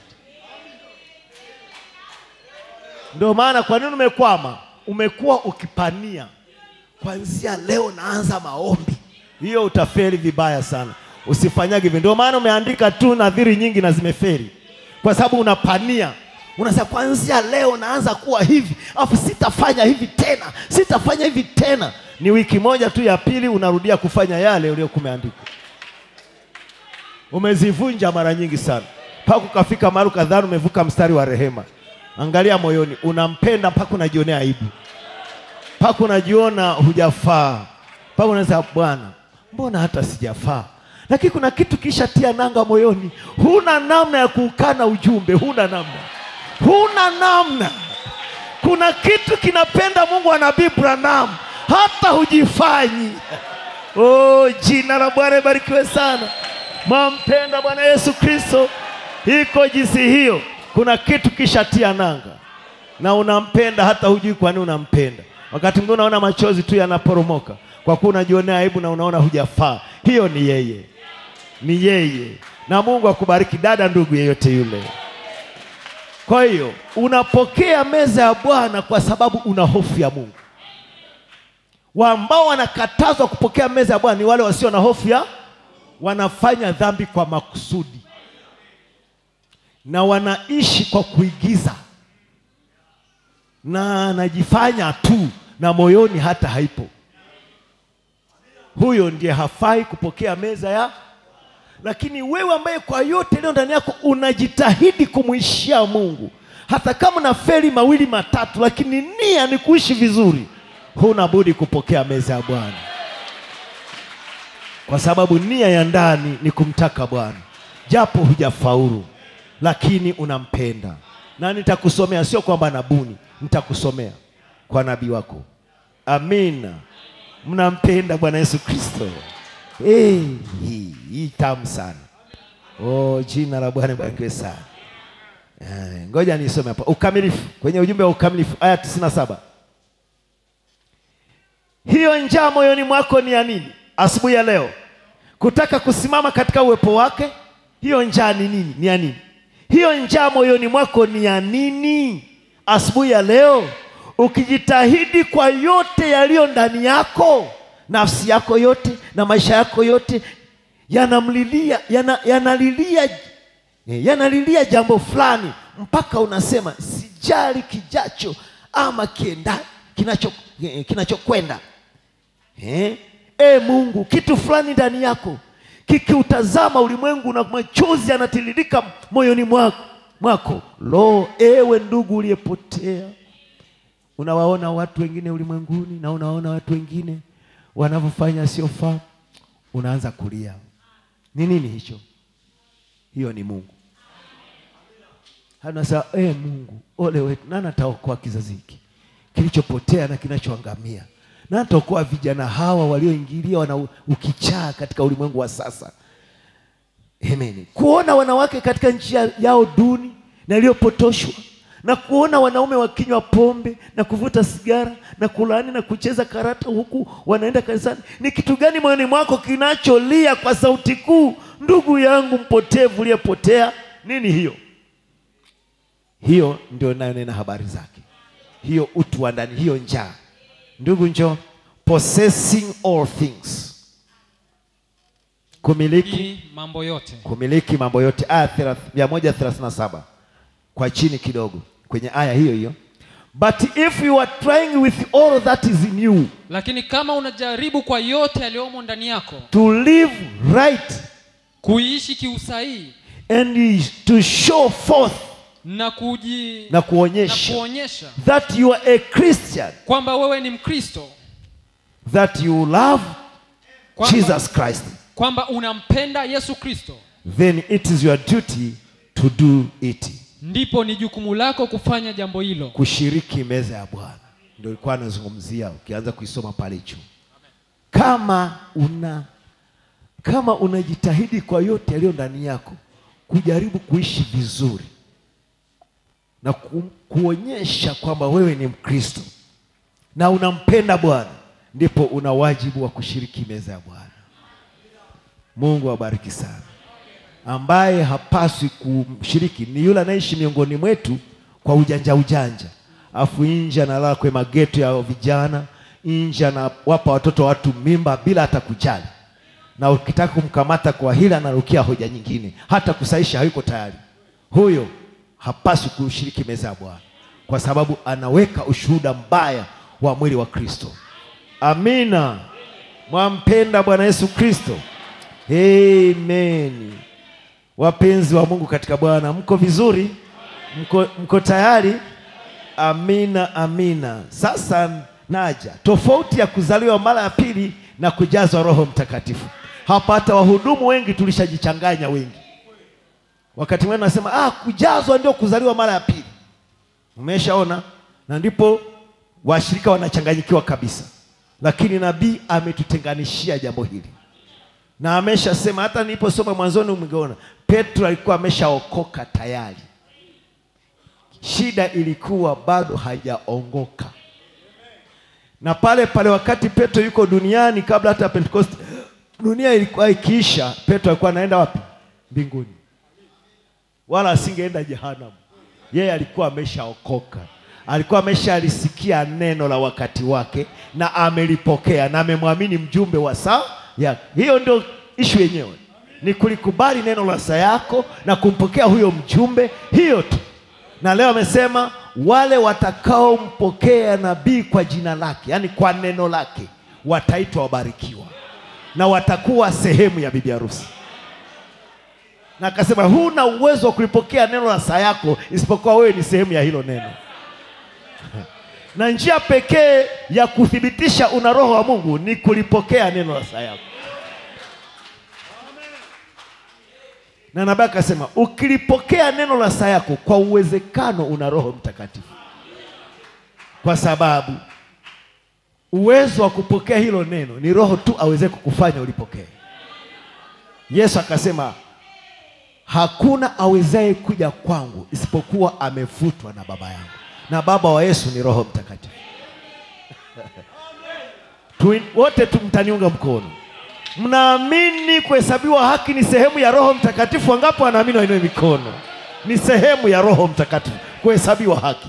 kutakaswa ni sehemu ya roho mtakatifu kisha kujazwa ni utimilifu wake twende wangapo wanaamini martin luther alihesabiwa haki sasa tushushe wangapi wanaamini martin luther atakuwa sehemu ya bibi harusi kunyakuliwa ala na huko alihesabiwa John Wesley ilikuwa utakaso. wangapo wanaamini utakaso ni sehemu ya Roho Mtakatifu? Na wangapo wanaamini e, e, John Wesley na watu wake wote waliotakaswa wanaenda kwenye mnyakuo? Ah, ala. Sasa wewe umehesabiwa haki unajiona mpagani. Umetakaswa unajiona mpagani. Mungu natusaidie sana. Ni mpaka ati uwe na tukio la kuweweseka na kutikisika na kuvunja viti, ndio tunajua wewe umejazwa. Sio hiyo, sio hiyo. Na wote, hebu niwaambie, na wote hatuna mtindo mmoja wa kuwa na Roho Mtakatifu. Hatuna mtindo mmoja. Wengine kimya kimya, itaingia kimya kimya, baada ya muda wanaona wana maisha ya Yesu Kristo, na ilitendeka lini? Hata hawajui ilitendeka lini, ila watashangaa tu wana matendo ya Yesu Kristo. Hatuko na mtindo mmoja, kila mtu ana mtindo wake Mungu anavyomfanya. Mwingine itakuwa kama kichaa kabisa, mpaka network zinapotea, mpaka anapotea kwenye ulimwengu wa kawaida, amebaki tu oh Bwana, oh haleluya, wiki mbili, wiki tatu, alishapoteana. Anaweza akawa anashinda na humu, yeye naye imemfanya hivyo. Lakini mwingine ni mara moja tu yuko tu kwenye kiti, anasikia uwepo wa Mungu, anasikia raha fulani, alafu imetendeka. Baada ya hapo ni amani, ni amani, ni amani, ni amani, ni furaha, hivyo tu. Tuko wa namna mbalimbali na kwa namna Mungu anavyotuokoa kwa njia mbali mbali, kwa hatuwezi kuwa na mtindo wa aina moja. Kikubwa tu moyoni unavyompenda Bwana ni jambo la mapenzi wewe na Bwana. Unasikia kuna kitu kinampenda Yesu, mpaka kila kitu duniani hakina maana ila Bwana tu. Bwana tujalie sana. Utakapoongoka waimarishe ndugu zako, kuhesabu kuhesabu kinyume nyume. Jumbe hizi ziko mbili au tatu, lakini sijui, nafikiri ziko mbili. Huu jumbe ni wa mwaka sitini na mbili mwezi wa tisa tarehe tisa asubuhi.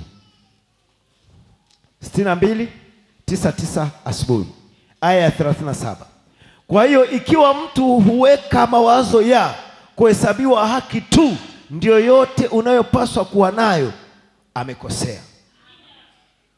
Amekosea. Akarudia.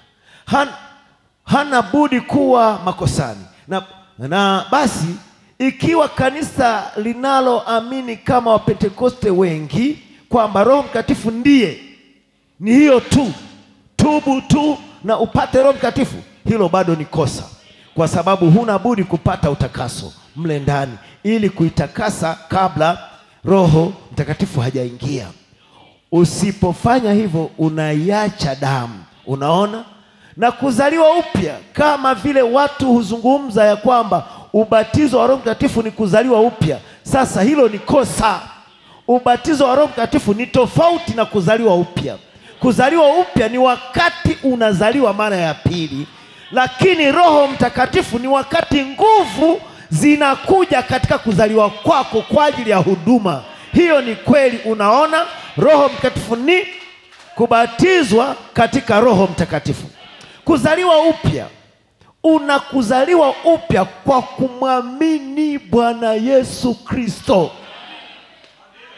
sio kujifanya kuamini. Ah, kuamini kabisa kweli kweli, bila kujifanya. Kuna kitu kimemwamini, kimempenda, na umegeuza nia, yako imegeuka, mawazo yamegeuka, mwelekeo wako umegeuka. Ulikuwa, ulikuwa mlevi, mzinzi, mwovu, kuna kitu kimekuja hadi kinakuhurumia. Unasema, ole wangu mii mwenye dhambi, niokoe Baba, niko hapa, naomba unisaidie. Hiyo kitu iliyoingia mpaka unajisikia ujiweke sawa na Mungu ukamkubali Kristo kuwa na, ni Bwana mwokozi wa maisha yako, hapo imekugeuza nia na mawazo. Ulikuwa unaelekea virabuni, sasa unaelekea kanisani na unalipenda neno, na unaposikia neno kuna kitu kinachochoa humu, unaimba tenza rohoni, unaona machozi yanaporomoka huko kumpenda Bwana. Hiyo Mungu atujalie sana, na haikuachi hata uwe powe, hatufanyeje, ilishakushika hiyo ni kuzaliwa mara ya pili. Oh, Mungu atujalie sana kuzaliwa upya. Unazaliwa upya kwa kumwamini Bwana Yesu Kristo. Unaona, kwa kuwa na imani na kumkubali kama mwokozi wako, huko ni kuzaliwa. Unaona, kwa sababu umepita kutoka mautini kuingia uzimani. Sasa ukitaka kuunga mkono jambo hilo, chukua Yohana Mtakatifu tano ishirini na nne yeye ayasikiaye maneno yangu na Bwana sema kusikia ni kufahamu. Yeye anayefahamu anataka kusikia. Hata mtu yeyote atapita hapo, mlevi, mzinzi, watapita wasikie mtu anahubiri. Hasemei hiyo, hasemei kusikia kwa maana ya kusikia, anamaanisha kufahamu. Kwenye ujumbe wa, e, wa, wa, wa ni ujumbe gani ule? Nitaukumbuka hapa, subiri, nitaukumbuka ambapo amefasiri jambo hili kwamba yeye asikiae maneno yangu e, amesema ni yeye ayafahamuye, yeye anayeelewa, yeye ambaye inafunuka kwake. Jina la Bwana barikiwe sana. Si unaona Petro, Yesu akiwauliza ile swali, watu wanamnena mwana wa Adamu kuwa nani? Wanasema Yohana Mbatizaji, wanasema moja nini, Yeremia, moja manabii. Hasa lakini auliza swali, ninyi mwaninena kuwa nani? Petro bila kuwaza kuwazua kitu fulani kikamshika, akanena chini ya upako, wewe ni Kristo mwana wa Mungu aliye hai. Sasa mwili na damu havijakufunulia hilo, ni Baba yangu wa mbinguni aliyekufunulia jambo hilo. Hiyo inamaanisha ni Mungu ndiye alikuwa amehusika kuwaonyesha Yesu, na swali lenyewe lilikuwa si kwamba yeye ni nani hawamjui, lakini kwa kwamba mmenijueje mimi ni Kristo? na Mungu akadhihirisha ni Mungu aliyewafunulia mimi ni Kristo, ni Mungu aliyewafunulia ujumbe huu ni Kristo, la sivyo usingekuja. Ni Mungu aliyekufunulia huu ujumbe, na huko ni kuzaliwa mara ya pili. Sikiliza, tutakwenda tutaona. Yeye ayasikiaye, mwenye uwezo wa kusikia, mwenye uwezo wa kufahamu ujumbe wa saa yake Amina. Na kumwamini yeye aliyenipeleka, kumwamini Mungu, yuna uzima wa milele, si atakuwa yuna, tayari anao. Unaona, ana uzima kwa sababu anaamini. Na kundi lilo hilo ilibidi liende Pentekoste kubatizwa na Roho Mtakatifu. Amen. Kundi lile lilomkubali Kristo likamwamini mjumbe wa saa yao, likapokea ujumbe wa saa yao, ilibidi liende Pentekoste lijazwe Roho Mtakatifu. Roho Mtakatifu ni nguvu kwa ajili ya huduma, hilo. Na Bwana anasema Roho Mtakatifu hakufanyi Mkristo zaidi, ila anakutia tu nguvu katika Ukristo wako uingizwe kwenye mwili wa Kristo kwa ajili ya huduma fulani, eza kunena kwa lugha, eza kuona maono, eza kuwekelea watu mikono wapote uponyaji, eza huduma kwa mchungaji, kwa mwinjilisti, kwa chochote, inakuingiza mle kwa ajili ya huduma. Amina. Lakini umeokolewa mara tu ulipomkubali Kristo. Mungu awabariki sana. Tuendelee mbele kwenye ujumbe, kuhesabu kinyumenyume. Roho Mtakatifu ni nguvu kwa ajili ya huduma. Kwa hiyo unapozungumza kuhusu wewe huna budi kuzaliwa mara ya pili na kulitumia hilo kwa Roho Mtakatifu, wengi wa Methodisti na kadhalika wamekosea hapo. Haiwezi, haitaendana na maandiko hapa. Unalifanya jambo hilo kwenda kombo, haina budi ku, haina budi kulichukua jinsi maandiko yalivyoliweka hapa. Unaona, na Roho Mtakatifu ni utapokea kuzaliwa upya baada ya hili nini? Hapana, mtapokea nguvu. Matendo moja nane baada ya huyu Roho Mtakatifu kuja juu yenu. Hakuna mahali utapata kuzaliwa mara ya pili ni kupokea Roho Mtakatifu. Mta, mtazaliwa mara ya pili mkishapokea Roho Mtakatifu. Inasema hivyo, inasema mtapokea nguvu akishawajiria Roho Mtakatifu. Ni nguvu juu ya Ukristo wako huo, ni nguvu juu ya kuzaliwa kwako mara ya pili. Amen. Hiyo nguvu kazi yake ni nini? Ni kuondoa asili yako ya kibinadamu na kukuwekea asili nyingine. Unakuwa sasa na maisha ndani ya Yesu yanayojiishi yenye. Lakini ulipozaliwa mara pili, ni nia na mawazo na mwelekeo ndio vilibadilika, lakini utu wa ndani ulikuwa bado uko vile vile na asili yako vile vile. Ulikuwa na kuingia na kutoka na kupanda na kushuka, shari zako na heri zako, na huku umezaliwa mara ya sasa. Wengi mkiona shari na heri, kuingia na kutoka na kupanda na kushuka, mnajiona sio amini. Hiyo ndio inawavunja moyo, lakini hiyo hata haihusiani na ndio maana unaona huko huko kuzaliwa kwako mara pili, uone kulivyo kwa maana, hata japo utu wako wa ndani nature haijabadilika asili, lakini hujakosa kuamini. Miaka yote umeamini, hata iweje, kuna kitu kisha tia nanga kwamba afu hii ni kweli, hata ufanyeje. Na huku ikitazama nyuma ya maisha yako unakuta yani umejikanyaga mara nyingi sana na matope, mpaka unajionea huruma. Sasa Mungu, hivi hii kitu nitaacha lini? Mbona hata najionea aibu, eti hivi namwamini wa zamani niwe natupia haya mambo, mbona? Ni kwa sababu asili haijabadilika, ila ulizaliwa mara ya pili.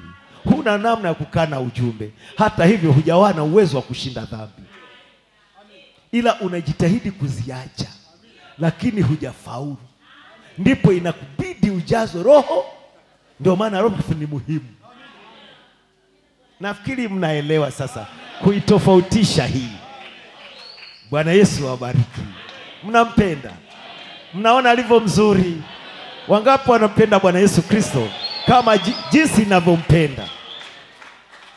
Na uone pamoja na kuzaliwa kwako mara ya pili, pamoja na kuanguka na kushuka na kupanda, wakati mwingine unaona wema wa Mungu unakuja ibadani, hata unasema hivi na mimi. Unaona hali nzuri hiyo inakuchukua, unapiga na mayowe, na unapotoka kanisa unajua sasa nimefaulu, unakuta bado uko pale pale. Ni yeye huwa anakuthibitisha kwamba niko pamoja nawe, usihofu, niisha kuokoa, ila tu bado namna mazingira hajakaa sawa kwako, nipate kufikia kukujaza na Roho Mtakatifu. Lakini endelea kuwa mzuri, endelea kujitakasa, ndipo yabidi uwe na vipindi vya kujitenga peke yako. Siku zingine kama nilivyosema juzi, wakati mwingine jitenge tu, siku fulani, siku fulani tu, amua, funga simu zako funga shughuli zako, mwambie mkeo, samani mama, mke wangu, leo usinitafute, na mtu akija hapa usinihusishe. Wamwambie tu baba hayuko, hayuko hapa kwa ukaribu, nataka tu niwe mahali fulani na Bwana. Kisha jitenge mahali fulani na Bwana, afu mwambie tatua shida zangu. Mwambie si lazima muda huo unafumba tu macho wakati mwingine unatembea tembea tu hapo chumbani, huku ala inapiga, alafu huku ukimtafakari yeye. Haijapita muda unaweka nabii, huku na tafakari, Mungu, nimemwamini huyu mtu, wajua nakupenda, lakini sijafaulu kuyaishi haya maisha. Wajua hata hivyo nakupenda, naomba unisaidie. Nimesikia habari zako, hata Petro alianguka anguka, lakini ulimuimarisha, ulimwombea, ulimsaidia.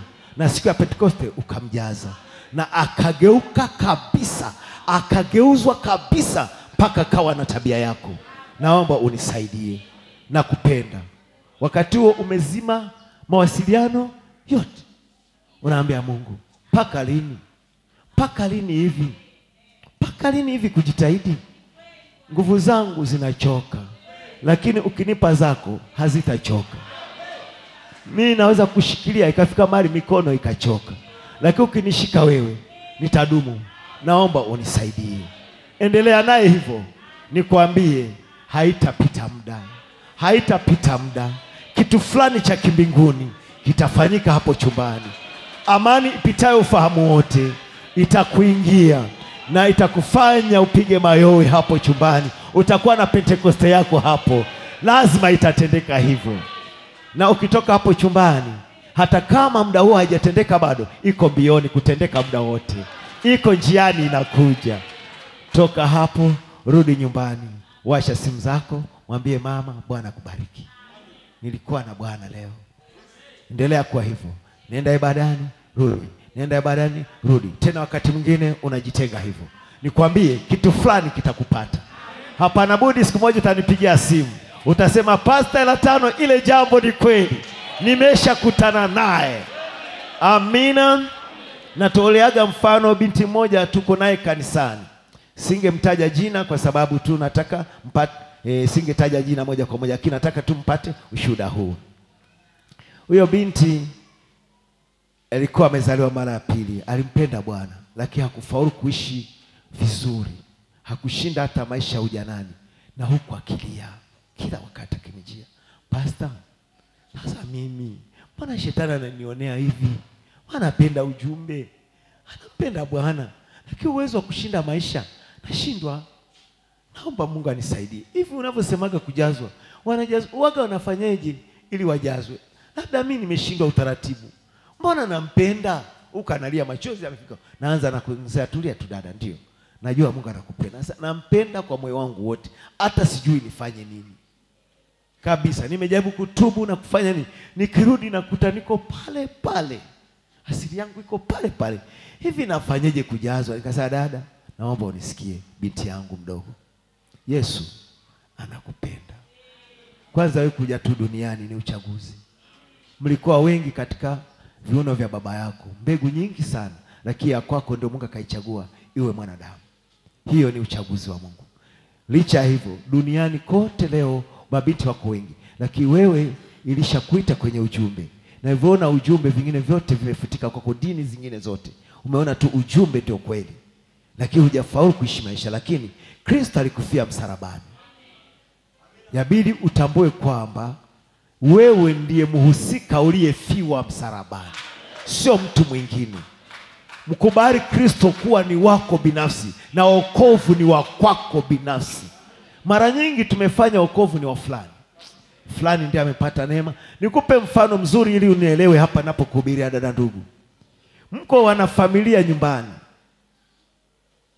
wenzako walishatambua haki zao kwa wazazi. Baba, viatu vimekwisha vya shule, nguo zimeisha. madam ni mtoto mdogo kwa baba, nina haki zote kumdai anihudumie yeye, kwa sababu yeye ndiye aliyenizaa. Sina baba mwingine wa kumdai, siwezi kwenda kumvamia baba mitaani. Kuna haki ya baba mmoja aliyenizaa, na kama hanifanyii hivyo, nitasema baba yangu ni nani? Ninaweza kumpa maswali magumu, nionyeshe baba ili nimdai, maana aliye baba anapaswa ajukumike kunitunza mimi mtoto nikiwa darasa la tano, nikiwa la kwanza mpaka la saba mpaka sekondari. Baba yangu aliyenizaa, nina haki sio sio namuomba feva, sio hisani. Nina haki na anawajibika, analazimika kunitunza.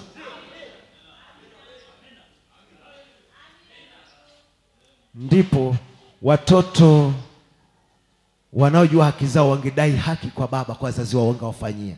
Alafu mtoto mmoja kwenye hiyo nyumba anajiona hana haki.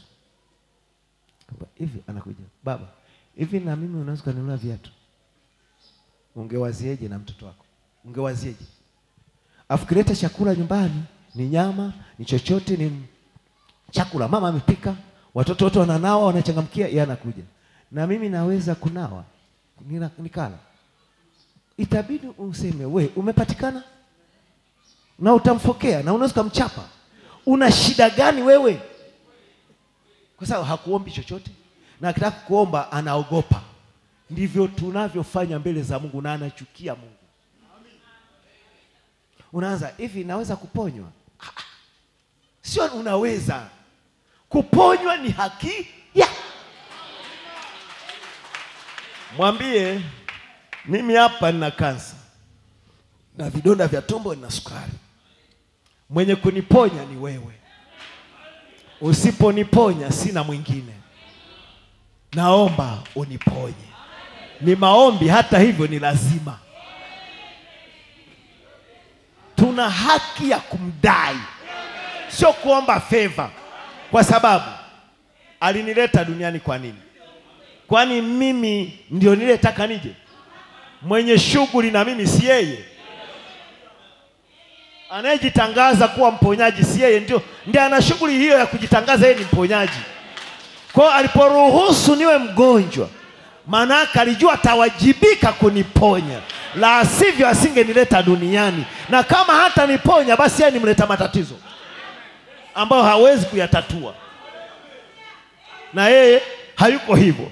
Yeye ni Mungu aliyeruhusu ili ajitambulishe. Sasa unamwambia kujitambulisha kwako inakuwa tabu kwangu. wewe si unataka kujitambulishe jitambulishe sasa wewe ni mponyaji mimi hapa naumwa ili wewe uwe mponyaji. Kwa kuli, kwa kuwa uponyaji ulitangulia kabla ya kuugua niponye sasa. Maana kungekuwa hakuna uponyaji usingeruhusu ku, kuumwa. Unamwambia nijaze roho mtakatifu. Hiyo ni haki yangu. Sio feva siombi kama itawezekana kama naweza kanihurumia. ah, ah. hiyo ni haki nadai kanisani niwe wa rohoni mungu ni roho. Na wamwabudue imepasa kuwa kumwabudu katika roho na? Sasa hujanipa roho Mtakatifu, na kuabuduje nipe cha kukuabudia. Sababu usiponipa nani ananipa? Yaani usiponipa roho mtakatifu nafanyeje? Yaani kama hivi uzaliwe duniani na mungu asilete maziwa kwa mama. Sasa alinileta kwa nini ilibidi anifanyie matayarisho na aniwekee njia ya uwezeshi wa kuishi kabla sijaja. Akatengeneza barabara ya mimi kupita. Ili akinileta nipite kwa ulaini ili afanikishe mipango yake. Na alipokuita kwenye ujumbe huu akakutalisha na mhubiri William morin Branham. Alijua ukija duniani utahitaji ujumbe na akamtuma Branham kwa ajili yako, na wewe ndio uliyewaziwa kwanza. Ni- Unisikie, kabla ya Branham hajawaziwa, wewe ndio uliwaziwa kwanza, na Mungu ndiye akakwambia, angalieni, nitawapelekea Eliya nabii. Manake ilibidi uwepo kwanza, ndipo Eliya nabii apelekwe kwako. Kwa wewe ndi unaambiwa angalieni, manake lichungeni lisiwapite, nitawapelekea Eliya nabii. Tulishapelekewa sisi, sisi ndio walengwa. Jumbe zote anahubiri ni kwa ajili yetu, zinarekodiwa. Alituwazia hata tulio nchi za mbali, na akaandaa wanasayansi wavuviwe, watengeneze vyombo ambapo tuje tusikize huu ujumbe ah. Yeye anatushughulikia fika, kwa una haki ya kumdai kwenye mkutano huu kwamba wewe wewe Mungu hukuvumilia uliposikia nimepotea. Mbingu kwako zilikuwa hazina maana, sifa za uungu zilikuwa hazina maana, hata hukujali kule kuimbiwa na vile viumbe vya kimbinguni ambavyo havijawahi kutenda dhambi. Hukujali hiyo, hukujali kabisa. Jina la Bwana barikiwe sana. Hakujali maserafi, hakujali mekarubi wanamwimbia mtakatifu, mtakatifu, mtakatifu, yote aliyaacha akaona kuitwa Mungu sio cha maana. Kwa nini watoto wamepotea duniani? Nabii anasema siku ile, wakati taarifa inaenda kwa Mungu, kiumbe cha kimiguu kimwambia watoto wamepotea, anasema mbingu zilivurugwa. Mungu alisambaratisha mbingu, alivuruga mbingu, hakujali chochote akavua magwanda ya uungu, akavua utukufu, akavua heshima. Huyo, haleluya! Jina la Bwana barikiwe sana, amen. Sasa nazungumza kiujumla, tangu Edeni mpaka leo, mpaka hapo Karuvari, huyo duniani akamtafuta binti ambaye hajawahi kuguswa, huyo akaingia ndani. Yule yule Gabriel ndio ilikuwa yeye. Yeye alinena neno, akaingia ndani, akajiumbia mwenyewe, akaanza kujizongazonga na mwili wa kawaida ndani ya tumbo la uzazi la kibikira, akaanza kujijengea mwili. Akiwa Roho Mtakatifu, akiwa ni logos, akaanza kuchukua mwili. Neno analiumba linakuwa mwili wa nyama, tishu seli zikawa tishu, ikawa organi, akajiumbia, akajizongazonga. Anazaliwa ni Jehova, anazaliwa duniani. Shida yako ni nini? Nimekuja kutafuta watoto wangu, maana walikuwa wamepotea kwenye mili iliyozaliwa na mwanamke. Nisingepita njia nyingine, ilibidi nipite njia walipita, nami napita njia hiyo hiyo. Akaja huku, amen akaonja kuchukuliwa miezi tisa. Manake nini? Kwa sababu sisi tumechukuliwa miezi tisa, na akachukuliwa miezi tisa, akagundua kuzaliwa manake nini. Akazaliwa na yeye kwa utungu, na akazaliwa, haleluya, na akakaa akavishwa nguo za kitoto na akalia sauti ya kitoto jehova mungu muumba mbingu na nchi yuko horini.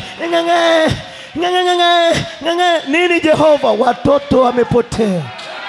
Watoto wamepotea. Huyo hapo akaanza kupitia hatua za mtoto za kucheka za tetete. Anajitahidi kusimama. Jehova anapitia hatua za watoto wake wanavyokuwaga. Haleluya! Akawa kijana. Kijana wa miaka kumi na nne. Akawa kijana. Kumi na tano yusufu akafariki. Akawa yatima. Akajipa sifa ya yatima. Ili aone yatima huwa wanaishije. Mlio yatima yesu alishawaishia maisha. Akaishi maisha ya yatima akatoroka kwa mariamu akaenda kwa kina martha na lazaro na mariamu akaenda kuwa yatima pamoja nao. Akakuwa akiwa yatima. Anaonja maisha ya yatima manake ni kufiwa na baba manake nini? Kufiwa na wazazi manake nini? Naye akawa ni moja ya wanadamu kama wanadamu wa kawaida. Akasikia kuna mhubiri anahubiri mto yordani akashuhudiwa na lazaro. Akamwambia lazaro kesho itabidi unisindikize tuende tumwone huyo mhubiri. Ni nini? Ni hali ya wakati kumefika. Sasa ana miaka thelathini. Muda wake umefika. Na namba thelathini ni namba ya huduma ya mungu. Siku moja mungu akinijalia nitakuja nihubiri hapa. Namba thelathini ni namba ya utumishi. Haleluya. Yusufu alitawazwa kuwa liwali akiwa na miaka thelathini daudi alifanyika mfalme akatawazwa kuwa mfalme akiwa na miaka thelathini. Suleimani alifanyika mfalme akiwa na miaka thelathini. Thelathini ni namba ya utumishi ni namba ya kuwekwa mtu mahali pake. Na yesu akaanza huduma akiwa na miaka thelathini. Na makuhani wote wa kale ili atawazwa kuwa kuhani kamili bila afikishe miaka thelathini. Ndipo aliheshimika kama kuhani aweze kufundisha watu. Na yesu akafikisha miaka thelathini. Sasa sasa tuweza kwenda. Naye alipokuwa anasogea yohana akiwa nabii neno la mungu likamjia kusema tazama mwanakondoo wa mungu aichukua dhambi ya ulimwengu. Tazama mwana kondoo wa mungu anayechukua dhambi ya ulimwengu huyu anakuja. Wala hakuwa amemwona, ilikuwa ni upako wa roho mtakatifu. Ukawa unate kabla hajaja yohana alikuwa anahubiri watu. Sasa yupo mtu miongoni mwenu msiyemjua yeye alikuwa kabla yangu na atakuwa baada yangu. Sistahili hata kuvua viatu vya kamba kufungua viatu vya kamba yake. Haikupita muda saa, tazama mwana kondoo wa mungu. Yeye alionyesha bila kujua kumbe ni roho wa mungu. Hatimaye mtu huyo mmoja anatokea. Mungu aliyeshuka toka mbinguni amekuja watembelee wanadamu aamini wanavyoamini. Na waonyeshe hatua za kuamini. Hatua ya kwanza kuamini ni kumwamini nabii wa, wa kizazi chako. Yeye mwenyewe yesu alienda kwa nabii wa kizazi chake akamwamini nabii kukuonyesha ndio mpango kamili wa mungu. Sio kuyaamini madhehebu ni kumwamini mungu kwa nabii mwaminini mungu mpate kuthibitika. Mwaminini nabii wake mpate kufanikiwa. Ili ufanikiwe mwamini nabii wa kizazi chako. Na yesu akaenda mpaka mtoni. Kwa mara ya kwanza duniani mungu akiwa amevaa mwili anaonana na nabii wake ambao hao manabii wa kale alikuwa amewajia akiwa neno sasa yeye ni neno lilovaa mwili kama wao walivyovaa mwili. Kwa mara ya kwanza mbingu na nchi vinakumbatiana. Anamuona nabii na nabii anamuona mungu. Nabii akatambua mungu kwenye mwili akashuka chini akasema sistahili naomba wewe ndio unibatize akasema kubali hivi sasa kutimiza haki yote ya mungu. Alikuwa anamwambia mbona unataka kupingana na mahubiri yako ya upako mara hii tu muda kidogo umepita umenitangaza mimi ni mwanakondoo na kondoo wa wakati kondoo wa kufia watu wote huwa anaoshwa na nabii wa kizazi. Huna budi kuniosha. Yohana akatambua akamwosha kwa ubatizo ili amkabidhi kwa kuhani ili kuhani amchinje. Amina ndivyo ilivyokuwa tangu zamani. Na akuwa anachunguzwa siku kumi na nne. Amina na yesu alizunguka kote kote akihubiri. Na akaenda hata yerusalemu akihubiri. Lakini siku maalum alikuwa anaenda kutolewa. Siku ile alipitia na jeriko. Siku ile na batimaya akapewa kuona. Ilikuwa ni siku yesu anaenda. Atimize siku kumi na nne akichunguzwa. Alikuwa ndio mara ya mwisho anaenda Yerusalemu ili akachunguzwe kama kondoo anayechunguzwa, na wakaja wakamchunguza mpaka washtakiwa wako wenyewe wakasema hana hatia. Ni nani aweze kunishuhudia na dhambi? Kakuta kondoo hana hatia. Kuhani mkuu kipindi kile akatamka matamshi yasiyojulikana, yeye mwenyewe hajui, lakini anatoa unabii. Nyinyi wote hamjui kitu chochote, mnajua abidi mtu mmoja afe kwa ajili ya wote kuliko wote kuangamia. Mtu mmoja afe, alikuwa anamtoa, alikuwa anamtoa sadaka, kondoo anatolewa sadaka. Kisu cha kuhani ilikuwa ni dora ya Kirumi, ilikuwa ndio kisu cha kumkatia. Kwa hiyo ilibidi wachukue kisu dora ya Kirumi kupitia Pilato. Ni kisu ambacho kuhani alitumia, maana makuhani ndio waliompeleka kwa Pilato, ilikuwa ni kumchinja. Sasa kondoo aliyeoshwa na nabii sasa amekabidhiwa kwa kuhani, yabidi atolewe kama kafara. Oh, haleluya! Mnampenda, mnampenda siku ya leo jinsi ninavyompenda, na mara nyingi amenitokea akiniambia jinsi tulivyo wazembe mpaka huwa anajionea aibu. Hakika Mungu anatupenda. Amina. Kabla sijaenda mbali, sikilizeni. Kulikuwa na mfano ambao nabii ametutolea, anasema kulikuwa na familia ilikuwa inakuwa wafalme, hatimaye mfalme mmoja akatawazwa kuwa kwenye kiti cha kifalme, lakini akawaita raia wake, sasa nimetawazwa kuwa mfalme, ni sawa, lakini nimechelea kuwaongoza. Nitaongoza watu nisiowafahamu, itakuwa ngumu. Sijui shida zao, sijui tabu wanazopitia, sijui maisha wanayopitia. Mimi niko tu hapa ufalmeni, sijai kujua kulima ni nini, kufyatua tofari ni nini, kuchana mbao ni nini, kuchimba mitaro ni nini, kufanya kazi ya umachinga ni nini. Sijawahi. Hao watu nitawaongozaje? Akawaambia raia wake, naomba nitasafiri kidogo, mnivumilie, kwa elimu. ninataka niende nchi ya mbali kidogo, nitarudi niwaambie nilikuwa wapi. Sasa sawa, mfalme. Kesho yake akavua magwanda ya kifalme na makofia na kila kitu, akavaa nguo za kawaida na akasafiri kwa usafiri wa kawaida kama Bwana wetu alivyosafiri usafiri wa kawaida kuja kuzaliwa na mwanamke duniani, usafiri wa kawaida. Naye mfalme hakusafiri na gwaride lake na vipenga mbele na polisi mbele na matangazo mbele, la, alisafiri kienyeji kutoka ikulu, akatoroka huyo vichochoroni mpaka kwenye vijiji vya mbali vya nchi yake, akaenda kuomba hifadhi na mwenyekiti wa kijiji. Wakampa hifadhi. Mgeni aliyehamia hawamjui. Na amejifanya yuko chakali kabisa, maisha ya kawaida. Akaanza kulima, akalima mpaka kafaulu kulima mpaka kawa ndiye mfano wa kulima wote. Akachomoka ghafla, yule mkulima akapotea, kumbe ameenda kuachana mbao. Akaenda kwa polini, wakachana mbao hizo kienyeji, wala sio kwa, kwa exo hii ya, ya mashine Aa, ya, ni kutumia mtu mmoja chini mwingine juu, hii ya kushusha kuinuka akachana mbao akazibeba akauza na kwa wauzaji aone mchana mbao anapitia shida gani. Akatoroka akaenda kufuga mifugo, akatoroka akaenda kufanya kazi hii na hii yote, akafanya kazi za raia wake wote akazionja.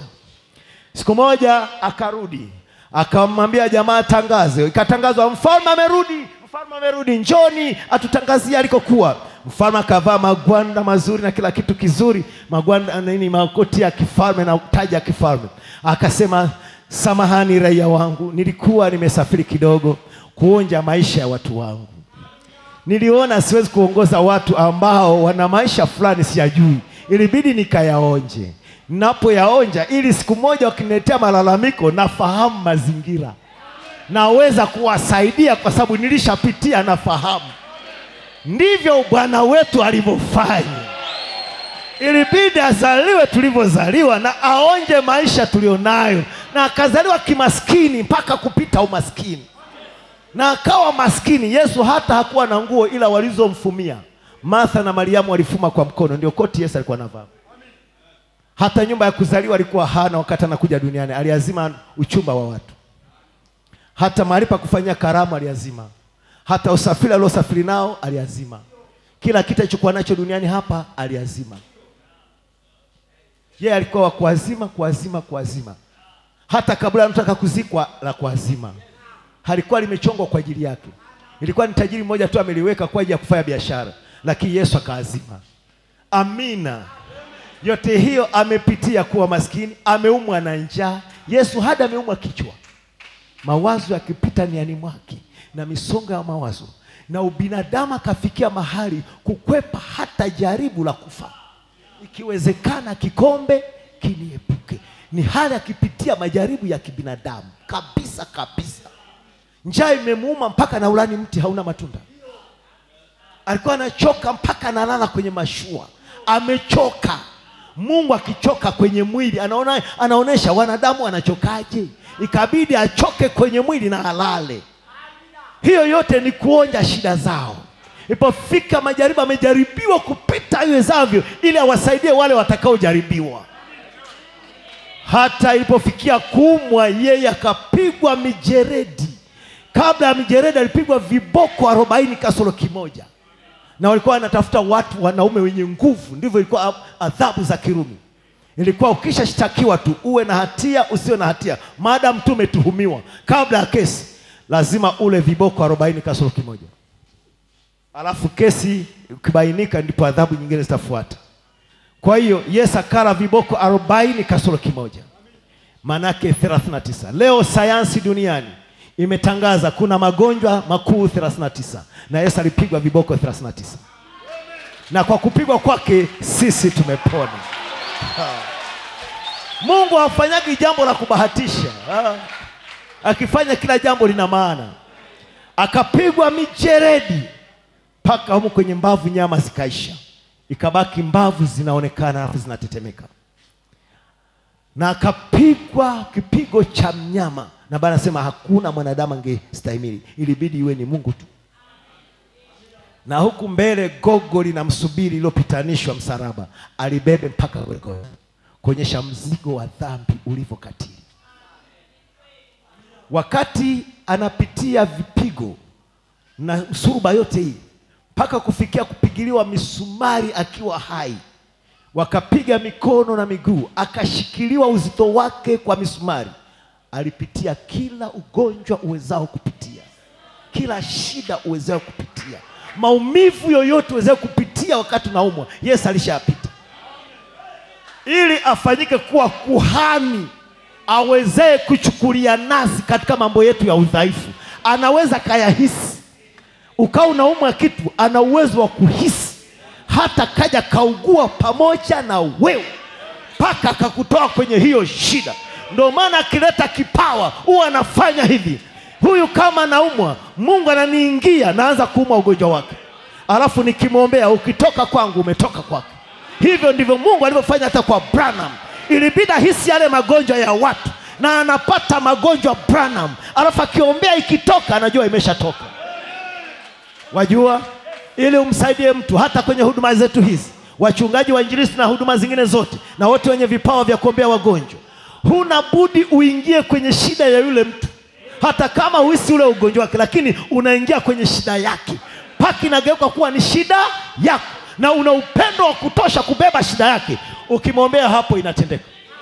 Kama hujafikia hapo, ukimwombea ni kubahatisha, lakini abidi uwe umeingia kwenye shida yake. Hata tunaposhuhudia wapendwa wali, wa madhehebuni au walimwengu, usiwachukie. Wengi mnashuhudia vibaya, unaanza kumchallenge Katoliki yako utapotea. Usifanye hivyo, nabii ametukataza. Hujawa na huruma ya kutosha kama Yesu. Yesu akiwepo alibebana nao, alichukuliana nao. Alikuta ni wazinzi, akaona wametengwa, akafukuza hadi wanafunzi, kwa sababu bado ni wanadamu, hawajaelewa kile Mungu anafanyaga. Akaona watamchallenge anapoongea na mzinzi, na yeye anamhurumia mzinzi, kwa sababu huyo mzinzi ni binti yake. Akasema, nendeni sokoni mkanunue ili abaki peke yake.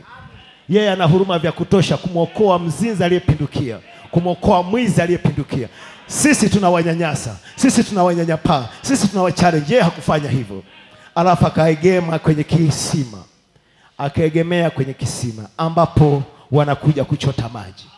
Mabinti wazuri wenye sifa nzuri walikuwa wamekuja kuchota kuanzia saa kumi na mbili mpaka saa moja kwenye saa mbili wameshamaliza. Makahaba walikuwa wanaanzia saa tano wakati watu hawapo. Zamani hizo makahaba walikuwa wanatengwa, hawezi kukaa pamoja na watu wazuri, na walikuwa wanajulikana kabisa, yule ni kahaba. Kwa hiyo ilibidi aje wakati wanawake wengine wote wamechota maji wazuri yeye anakuja wakati ambao ni yeye pekee aliye mbaya na unaona alikuwa anatembea peke yake hana hata kampani kwa sababu ana maisha machafu na bana anasema hakuyataka yale maisha lakini mazingira yalimtengenezea yale maisha ndio maana Yesu hakumlaumu. Chunguza kwa Biblia uone kama Yesu alikuwa anala- analaumu wazinzi. Wakati mwingine watu wamefanyika wazinzi si kwa kutaka kwao.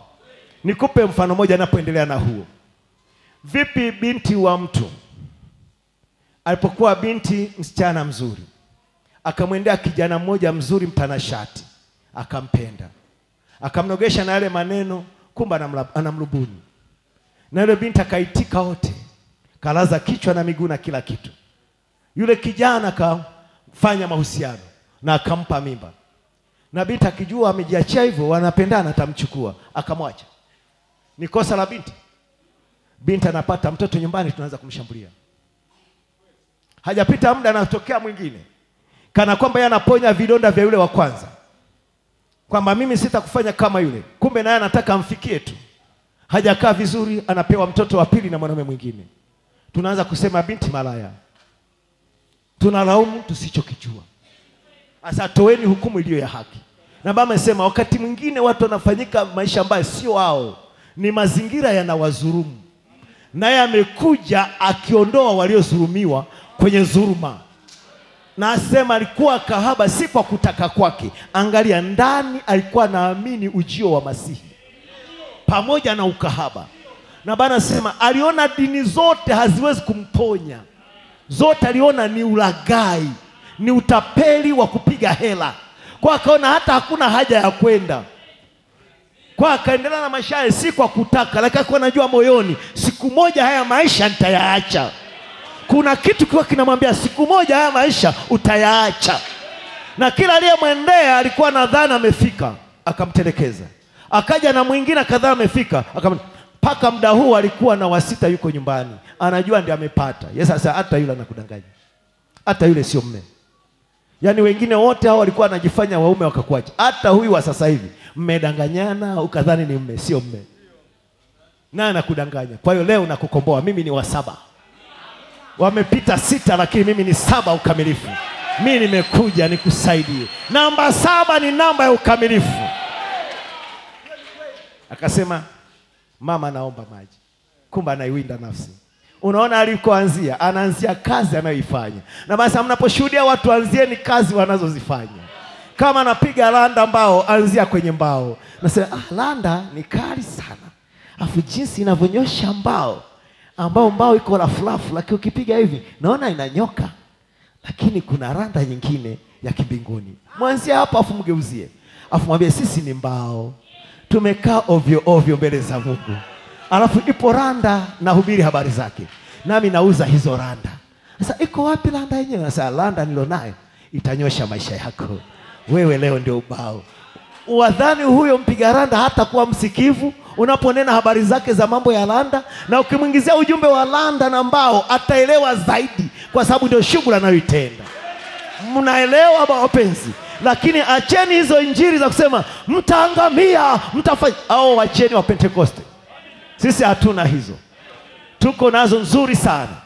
Ujumbe tunao ni wa mvuto, huo unaleta usikivu kwa watu, huo unaleta jambo fulani na kuwapa kusikia vizuri zaidi. Waambie habari za Mungu alivyo mzuri kwao, watapenda kusikia.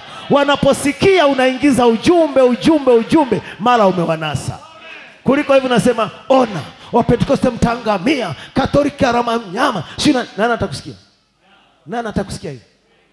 Sasa, sasa ana challenge dini za watu, anatukana viongozi. Sasa hakuna atakayesikia. Nabii amesema sisi tuhubiri injili ya kuwakaribisha kwa Kristo, alafu ingiza jambo lako. Unapotaka kuvua samaki, huwaonyeshi ndoana moja kwa moja, unaficha ndoana kwa chambo wao wanajua ni chakula. Ndio maana Mungu anaanza ishara na maajabu ili kuwavutia usikivu. Wanapokuja washangae, wapone, ndipo anawapa neno. Mungu awabariki sana. mampenda. Amen. Ndipo yeye amekuja akapitia maisha yetu yote na hali zetu zote, na akaonja magonjwa yetu yote, na akaenda karvari akapigiliwa hiyo misumari akipitia kila ugonjwa, na ndipo mwishoni akatoa uhai wake kwa ajili ya uhai wetu, ili kwamba yeye yeye awe fidia ya maisha yetu, kwamba uhai wetu ulikuwa unakufa. Uhai wetu si wa kudumu, uhai wetu ni wa kwenda kuzimu. Uhai wetu si wa maana, umepotoshwa mbele za Mungu, umepotoshwa na Shetani. Basi Yesu akaleta uhai wa kweli uliokubalika mbele za Mungu, ukachukua nafasi yetu. Ilikuwa sisi tufe tuliolaaniwa, yeye akachukua laana, alaniwe angikwaye mtini akafanyika laana kwa ajili yako mimi na wewe. Kwa hiyo ile nafasi ya Yesu akakupa wewe, sifa za Yesu akakuachia, afu yeye sifa zako mbaya akavaa, yeye ndiye akaonekana mbaya, huku ni mzuri. Na sheria ya Mungu ilikuwa inasema mtu aliyepotelewa na kitu akitaka kukikomboa, ndugu yake wa jamaa ya karibu, tena mwenye uwezo na asiye na hatia awe na ndiye awezaye kukomboa kumkomboa huyo ndugu yake, na ilikuwa ndiye anatoa fidia inayotakikana ili kumkomboa ndugu yake, na Yesu ndiye akafanyika jamaa wa karibu. Siku moja mbiu ilitangazwa mbinguni, ni nani astahilie kuwakomboa wanadamu? Ilikuwa ndio ndio ndio ndio nani, ndio stori yenyewe au ndio tangazo lenyewe katika Ufunuo tano, nani astahili? Na Mungu alikuwa pale na malaika walikuwa pale, hawajawahi kutenda dhambi, wote walikuwa kimya. Kwa nini? Tangazo lilikuwa linatafuta jamaa wa karibu wa wanadamu na Mungu akiwa roho na sisi tukiwa wanadamu hivi katika mwili, hatukuwa jamaa ya Mungu. Tulikuwa tulishatengana na jamaa kuwa jamaa ya Mungu, tulikuwa tulishakuwa wadhambi na Mungu ni mtakatifu. Kwa hiyo ikawa inatangaza nani mwanadamu ambaye hana hatia na ana uwezo wa kukomboa ndugu zake na amezaliwa na mwanamke aje akomboe watu wake. Mungu alikaa kimya, malaika walikaa kimya, kila kitu kaa kimya. Ndipo Yohana kalia kwa sababu alijua jina lake limepotea na watakatifu wote wamepotea. Mbiu hiyo ikatangaza ikatangaza ikatangaza. Yohana alipolia na kulia na kavunjika moyo, ndipo akasikia sauti katikati ya wazee ishirini na nne inamwambia usilie Yohana, usilie Yohana. tano nane hiyo, usilie Yohana, yupo simba wa kabila la Yuda aliyeshinda apate kumnunulia Mungu watu wake. Usilie. Naye Yohana akigeuka mwone simba, apogeuka anaona kondoo anatoka katikati ya kiti cha enzi, sio pembeni, katikati ya kiti cha enzi. Mungu alitoka umungu akafanyika mwanakondoo, akaona katikati ya kiti cha enzi anatokea mwanakondoo, anavuja damu, akaja akakitoa kitabu. Kitabu kinafunguliwa kwa damu, mihuri inavunjwa kwa damu unapokea ufunuo kwa damu. Akavunja kitabu na mihuri zake. Amina. Ndipo Yohana alipiga makelele, mbingu zikasikia napiga makelele, dunia ikasikia napiga makelele, na kuzimu kasikia napiga makelele, viumbe vyote vikasikia napiga makelele. Sasa niwaambie wapendwa, huu ni wakati wa kupiga makelele, iwapo tutaona ya kwamba mwanakondoo amechukua mahali petu. Siku ukitambua mwanakondoo alishachukua nafasi yako, utapiga makelele, na siku ukitambua ni roho wa Mungu amekuingia, ndipo utagundua alishachukua mahali pako. Zamani hizo sheria ya Mungu ilikuwa hivi: kila mzaliwa wa kwanza wa wanadamu na wanyama ni wa Bwana, akiwa wa kiume. Kila aliyefungua tumbo la mama yake wa kwanza wa kiume ni wa Bwana. Automatic maumbile yamemfanya awe wa Bwana kwa kuzaliwa namba moja. Kwa hiyo ilikuwa sio jambo la kujitakia, ilikuwa ni jambo la neema kupitia uzazi. Mungu alitoa ofa, wanaozaliwa wa kwanza kwa, kwa mama zao wa kiume moja kwa moja automatic ni wa Bwana. Lakini hapo hapo mmoja alikosa nafasi, anaitwa Esau alizaliwa wa kwanza kwa mama na haki ya mzaliwa wa kwanza kwa yake akaidharau, afu wa pili kuzaliwa akaja akaichukua. Sijui unanielewa? Leo Esau ni asili ya kwanza tuliozaliwa nayo, imetangulia kujionyesha ni ya kwanza, lakini Yakobo ni uzaliwa mara ya pili, ni ulu uto wa pili unaotakiwa uzaliwe mara ya pili, lakini alitangulia ni katili, alitangulia na juhudi sana. Hii asili ya dhambi ina juhudi sana, inajua kusema uongo, inajua kuiba, ina juhudi sana katika matendo yake, inajua kujipendekeza kuwa ni ya kidini, kumbe hata sio lakini ile ya ndani ni nyenyekevu, ina wazo moja tu, ikutane na Mungu. Ilikuwa Yakobo kiamsha hata usiku, nataka nini? Sasa nataka haki ya mzaliwa wa kwanza, yaani nataka mimi niitwe wa kwanza. Kwani hiyo inakusaidia nini? Alikuwa anajua inamsaidia nini. Amina. Na niwaulize, alipata hakupata? Kwa njia yoyote, hadi kwa kufoji. Pata wokovu hata kwa kufoji.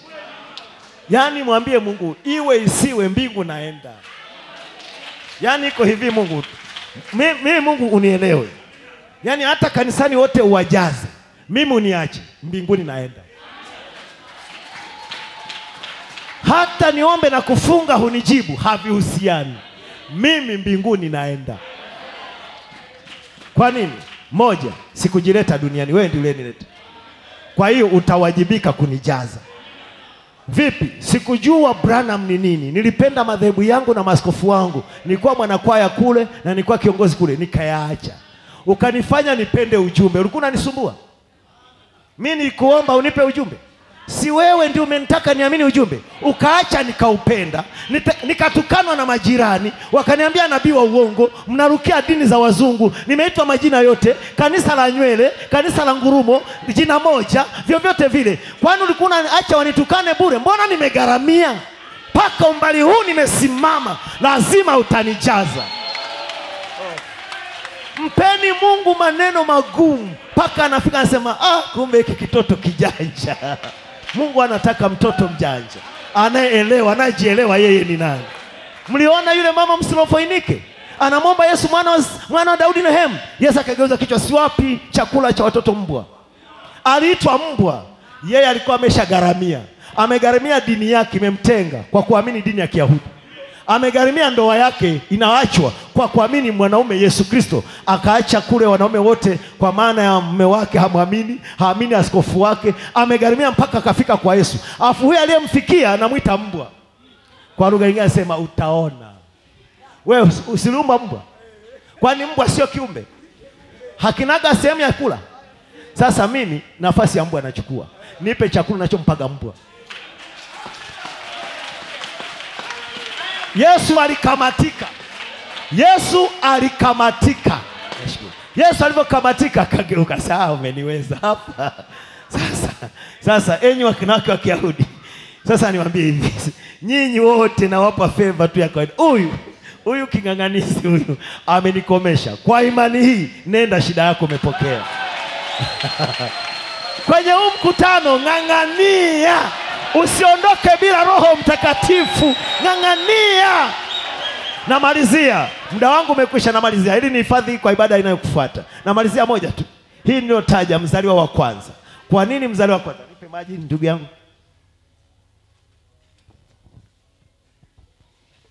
Mzaliwa wa kwanza zamani ilikuwa ni wa Bwana, wa wanyama, wa wanadamu. Sasa naja jambo fulani kuonyesha ilivyo. Ndipo Mungu akasema, lakini mzaliwa wa kwanza wa punda msinetee, usitoe punda kumleta madhabahuni, ila kondoo utamleta. Na, wa, na wang'ombe utamleta na wambuzi utamleta, ila wapunda usilete, na wa mwanadamu usimlete, kwa sababu hawezi kuchinjwa. Wa mwanadamu utambadilisha kwa kondoo, na wapunda utambadilisha kwa kondoo, utawakomboa kwa kondoo. Badala ya kuleta mwanadamu utamleta kondoo, badala ya kuleta punda utaleta kondoo. Ndipo kwenye kizazi hicho cha punda akazaliwa punda ana ulemavu, miguu imepindama, mkia uko juu, mdomo umepinda, miguu inapitana anapotembea, hadi kula nyasi kwenyewe ni kama anatenda dhambi. Ndipo ikafika muda wa kupelekwa hekaruni kwa kuhani, wakamwambia punda, itabidi mwende kwa kuhani mkawekwe wakfu kwa Bwana. Sasa we mama, kuhani atanipiga mpini, maana nilivyo mbaya, hata nikijiona mwenyewe sifanani na punda wenzangu. Sasa nafanyeje mama? Mama aliyefunzwa sheria vizuri, mama punda, angemwambia mama mtoto wake, usijali mwanangu, sio wewe utakaye kwenda kwa kuhani, sio wewe utakayeenda mbele za Mungu. Kuna mwanakondoo asiye na hatia, yeye ametayarishwa kwa ajili yako. Kwa hiyo ubaya wako wote utamezwa na yule kondoo. Kwa wewe Mungu hata kuangalia, akawa anamwambia hivyo. Mungu atamwangalia kondoo, kuhani atamwangalia mwana kondoo. Kwa wewe, wewe hata usio na wasiwasi, hajaishi umezaliwa mbaya vipi, yupo kondoo ambaye yupo kwa ajili yako na hana hatia na kutangazia asubuhi ya leo na jioni na msichana huu wa leo, hajarishi ume, umezaliwa umepindika vipi kwenye dhambi, umezaa mara ngapi na wanaume, umeharibu watoto wangapi, umeiba vya watu wangapi, maada umekuja kwenye ujumbe, yupo mwanakondoo aliyechukua nafasi hiyo ya watu wabaya. Sio wewe unayeonwa, ni Mungu anaona kondoo kondoo wa Kalvari amekwenda mbele zako kwa ajili yako, ameenda mbele za Mungu kwa ajili yako. Kwa hiyo sio uzuri wako, ni uzuri wa Yesu. Sio imani yako, ni imani ya Yesu. Sio utakatifu wako, ni utakatifu wa Yesu. Kwa hiyo wewe mwambie Mungu, sio mimi niwezaye kuja kwako, lakini yupo mwanakondoo aliyechukua nafasi yangu. Simameni tuombe.